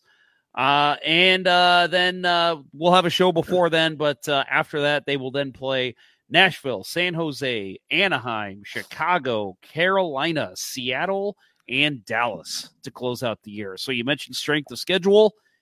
Looking pretty good for the Blues. You got a couple rough ones there, I think, against Edmonton, Nashville, and Carolina and Dallas. But uh, I You know do what? think the Blues could take many of those games. You know what though? The the game against Carolina is the second to the last game of the season for the Blues. So that game may not mean anything to Carolina. Mm-hmm. Right. So there's that. It may mean Right. everything to the Blues. Right. It may mean nothing to them. So, and it's a home game for the Blues. So It- so that's just- here's the thing too is that the home the games against the Carolina Hurricanes and the Edmonton Oilers are both home games for the Blues. Yep. So tough tough opponents, but we're at home, which where we play very well. Yep. Yeah. It it still just doesn't feel like having an Eastern Conference game in the last three of the season. Right? Why? We should Yeah. be done with Eastern Conference games by the end of February. Yeah. Like there should never be interconference play between March and April. I don't I don't want interconference play at all. But that's just that's, that's I'm me. fine with one game. I'm So you basically have what I'd- 16 games against the other conference. I want I want like eight games against six to eight games against uh, division opponents each season. Give me I give me one game against all the Eastern Conference and then one game against the Pacific. And give me all conference other than that. I'd love that. Or just do what Or the two. NFL does and just Even- go to one division, even- play one division only. Even two against uh, the Pacific because you know, but because there's some of them you have three games. home and a home. It's like- yeah. Why are you playing three games against the Calgary Flames? You know, like what the hell is that? And there are some games in the division the Blues only play three games, I believe, against Yeah, division there is. Yep. The most they play I is four, and they there are some games they play. Some teams that play I three. think Minnesota is one of them. it's dumb. Which it's like you have got to play Minnesota, Colorado, Chicago. you got to play them four times it's it's least. it's dumb. I I think six. You got to play Oh, every team in your division six at least. Hundred percent. Six to say eight. I yeah, I agree with you. Uh, and and uh, you play the Pacific. Uh, but I just whatever works out. If you've got okay, we'll play one division from the East or whatever, uh, to fill out the schedule and just rotate it every year like the NFL does. Yep. I don't know. They did that for a couple of years, early early two thousands, and then abandoned it, and I don't understand why. Yeah. It- yeah, that's I Well- think good debate for another time. At any rate, I, I Yeah, did agree. I did want to bring up Ken Morris's uh, comment. Uh, disliked the idea of only dressing eleven forwards and going with seven. I did want to talk about that. Right, that that blew up. It, uh, are you guys are you guys done? Are you, are you done fighting over who's going to pull it up? that is that is why we need a producer. yes. Yes, uh, I, I agree with you, Bill. I, I, I if you're against, I, I didn't, I didn't like it. Yeah. yeah, and it's you know I when Saad you know had to go to concussion protocol, you're like, oh too. shit, this is bad. Yeah. But then when you know it's like this is gonna blow up in our face, and then he came back like, oh yeah, and then Sundqvist goes down and like the the second I saw that with Sundqvist, I'm And like, they oh didn't- that that's a knee, he's done. and they didn't even play two of the defensemen very much. Right, So they had seven defensemen, right, and they if you're gonna have seven defensemen, use them. And I thought, okay, with Sundqvist down, what's the logical play here? Move Perunovich on the wing. to a forward. Yes, yes, Perunovich yes. on the wing. Why? Why not do that? Move him Yeah. to a to a put him on They the third they line. used to do that. Uh, Hitch, Hitchcock used to do that with Chris Russell. They'd play Yeah. seven, and if there was an injury, he'd put Yes. Russell on wing. Yeah, and it's like, yeah, do that. And- and Perunovich if is there's the perfect player for that. Right. If there's anything to what Lights Out Geometry was saying earlier about Hitchcock still kind of coaching this team, it, that felt like a very Hitchcock thing, right? Oh, tonight we're going to go with seven. We we don't like Bolduc's game right now, so we're going to go with seven defensemen. That's that is the most Hitchcockian thing ever, and I fucking hate It's it. like it's like La Russa batting the pitcher eighth. Yeah, Oh, like, oh, what are you doing? God. It's, it's over. me It's started on you're, that. You're overthinking things. I think. I don't. I don't.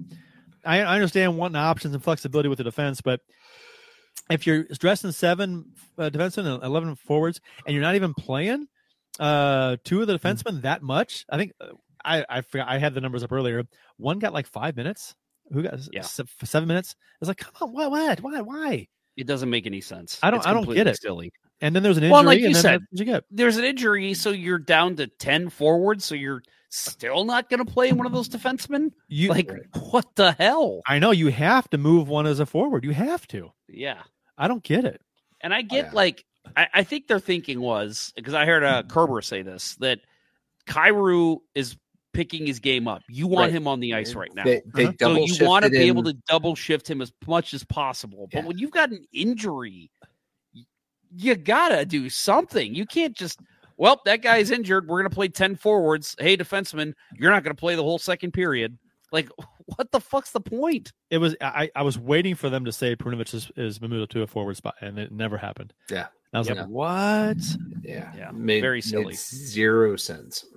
I, I I I should pull up his well stats to see how much he played in that game. Do it. Uh, it was against uh, Vegas.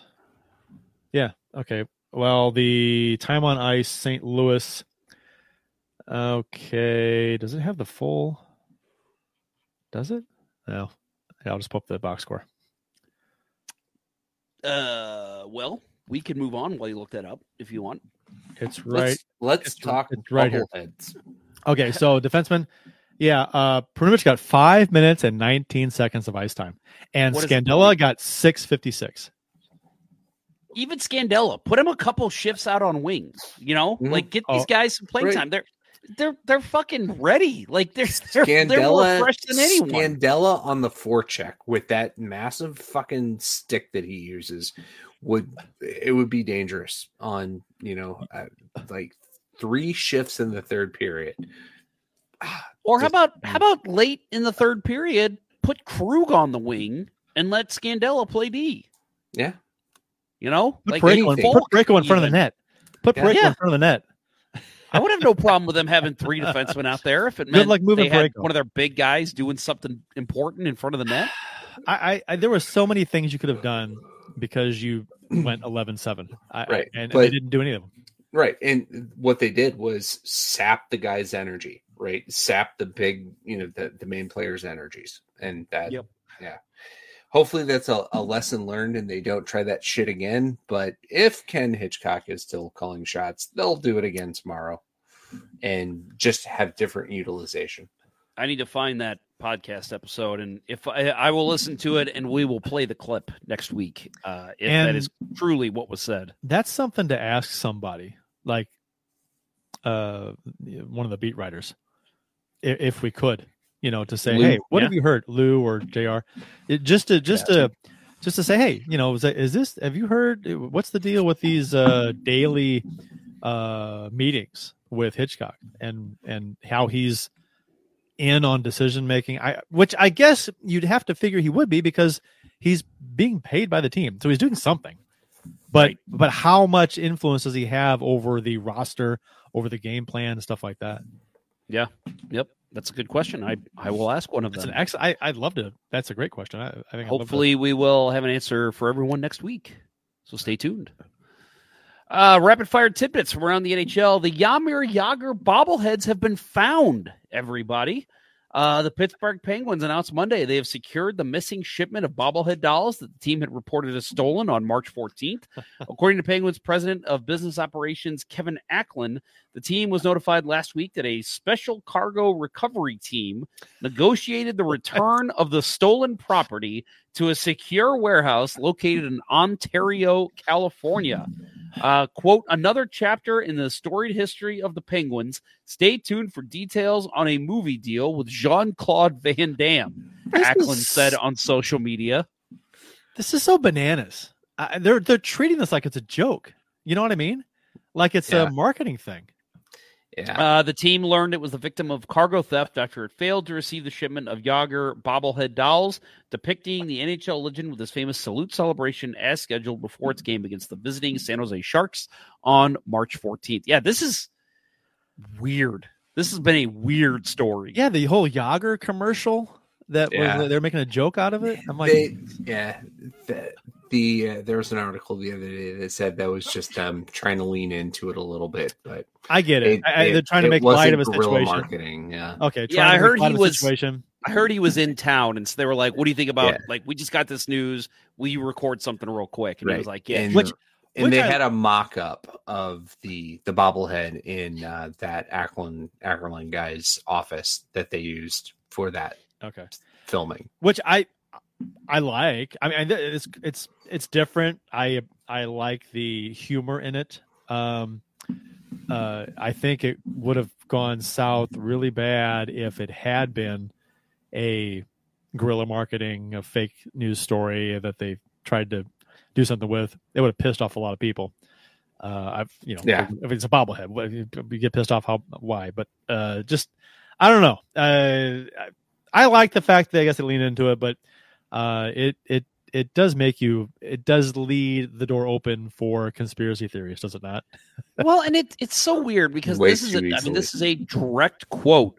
A special cargo recovery team negotiated the return of the stolen property to a secure warehouse. It's So so, you're weird. Telling me you It's- literally had like an investigation to find this, and we're sitting here making jokes about it? Like That's it's it, it's yeah. odd. It, it is Right. it is very eighties movie like. Yeah. Uh, Right. It was that team was led by Liam Neeson and Jean Claude Van very- Damme involved somewhere. right. I want right. my bobbleheads back.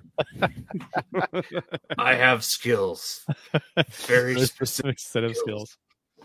Just ask the bobbleheads; they'll agree. Steven Seagal uh, is probably in there acting very poorly at some point too. Oh man. Um He's the Have you truck ever heard of driver the that they movie- get stolen from. Have you ever heard of the movie Knockoff? I've heard Face Off. Knockoff is I mean, I can't you can't I can't make this up. I'm not making this up, folks. There was a movie in the You 90s sound like a stand-up comedian before you tell a starring joke. Jean Claude Van Damme and Rob Schneider, and it was called Knockoff. They were, I, I could be telling this wrong, but I did see it, and it was, oh my god, as bad as you think it is. They were jean salesmen, like they sold like jeans and manufactured jeans, and they found out that they were getting them from some awful Japanese mafia crew. And so Jean Claude Van Damme and Rob Schneider You're saying Jod? basically go take down this He's got a cold. Jean Claude with a D. Sorry, yes, I, do have a I cold. think, I think it said Jod Claude. No, Jean Claude. Um, but yeah, they ended up uh, basically taking down this like Japanese mafia, and it's the most ridiculous story in the world. So Trees Trees says they hired Danny Ocean to recover the bobbleheads. I think Danny Ocean stole them. But That's possible. Did they hire uh, Jerry? Was it Jerry? Not Jerry Garcia. What's his name? Jerry Garcia. Oh, the, The the, the, original. oh hell, The something original- Garcia. The original Andy- guy Andy, they Andy stole Garcia. from. Andy, Andy- Garcia. Andy Garcia. Yeah, yeah. Thank you, Yeah. Yeah. Uh, He uh I Carlos I like Mencia. Carlos Mencia. Oh, joke stealer. Yes. um anyway, I guess but all is well in in Pittsburghville. and you, if you had a ticket to that game, you apparently had two opportunities to redeem your coupon Yeah. uh, didn't- to get your bubblehead. Didn't they give him something else? Called them. Or was it was just a, a coupon no, they gave him somewhere a, else? they gave him a, a ticket to it redeem was a voucher. Yeah. Yeah. See, they should have given him something extra. You know, I like, you know, Maybe like like a half off uh, ticket to a future game and the bobblehead or something. Maybe they are. Uh, maybe don't they know. should. They should. I mean, yeah, they're, they're putting people out a little bit. You know, they gotta like go get the bobblehead now. Yep. Mm. Agree. Well, anything else tonight, folks? Uh, we didn't really talk too much about the the Kyrou. Well, at least we did the Kyrou uh, stuff with uh, the the hat trick and the the folks come out of the woodwork. Uh, you know, saying this is who he's been all season. Blah blah blah blah blah blah blah. blah. No, That's no. we always hear that, right? like we heard that shit. uh, we heard that shit with Z- with Zach Sanford when he had a four goal game. I remember people coming in his defense. This is who he is. I No, it's not. I forgot about the Zach Sanford defenders. Oh my god, Yep. ridiculous. So yeah, and and I had just back and forth with a number of people, but the one is that the the Kyrou uh, fanboy Foppy. I- invited him on the. Sh- I invited him to come on and say, you know what, you're ridiculous. Let's talk about it on the show. And nothing. He didn't reply back. So Yep. Keyboard warrior. keyboard warriors. Yeah, I we've I've had conversations with him. I know. Oh, we haven't heard from him tonight. Uh, Justin Scott. I know he's gotten into it with him on social media Yeah. as well. Yeah, um, yeah. and he's he's been messaging me about it, and I'm just like, dude, I gave up on that guy. Like, uh, eh, clearly Well- he's he's a Ka- Kyrie stan. Which, hey, you want to be a fanboy? I'm totally cool with that. But like, if you're going to argue with people who actually understand how the game is played, you better be able to back it up. And well, he, he- is he- not. Well, he tries to with advanced stats, but the like we've gone over that a, a million times. We've seen this kind of thing with with you know the Allen fanboys when Allen was here. Uh, I, forgot about the Sanford fanboys, which was so weird. Yeah. Uh, it's just bananas. Um, there's always somebody, right? That uh, you know someone's in love with, and they they just defend them to the death, no matter what. So I mean, and it, and it's funny because you know people will get called Kyrou haters. I don't hate anybody on this team. I No. not a I root for everyone to play at the highest level possible and impress the shit out of me. I want that. I don't want people to go on the ice and play like shit. Was there ever a blue that you rooted against? Uh rooted against while the game was going on? No. Uh I I can tell you Brewer. Uh, well, there was I I disliked Brewer a lot just because of the way he played. Uh, I I, I thought he was just a, a huge disappointment, and I was just my my st- thing with him was he was extremely frustrating, and I hated being frustrated every game by him, and that was where that stemmed from. I wanted him to play well. I mean, otherwise I would just hate him. But I, you know, the frustration comes from me wanting him to play better and him not. So then I'm frustrated. Yeah, I'm with you. I don't. I don't. I mean, I, Brewer was one I didn't like. I'll admit, I've never liked Barrett Jackman. I never understood the love affair with him. Um, but I, I never I rooted like against anybody. Um, the player that I've disliked the most, quite honestly, uh, you guys might be shocked to hear this, shares a first name with me. Can you think of who that is? Finley? Jeff Finley. Not Jeff Finley. Finley had his haters when he was here. Uh, yes, he did. Jeff Woywitka. What the oh. other guy in the Pronger trade? Okay, because he they he came up and he had like three or four games where he played okay, and because Brewer was playing so bad, John Davidson came out and was like, "Well, the cornerstone of this trade was Woywitka. That's the one that we're excited about." He was fucking terrible. One of the worst defensemen I have ever seen play in the NHL, and I hated that guy. I could not stand Jeff Woywitka. He drove me up a goddamn wall. Brewer, every now and then, he would like make a good shot. You know, like he had a good shot and we would use it. It was oh. like, oh, hey, Brewer, good work. Get the puck to the net. Woywitka was, oh, I'm just going to fucking skate it into the corner and then I'm going to lose it in a puck battle and not hustle back. Like, you're a defenseman, dude. What are you doing? You know what pissed me off about Brewer, though, is that he was good. He was on Team Canada. He was a good player. Right. And then he came here and he sucked. I was like, what the? F-? It's like, God damn it.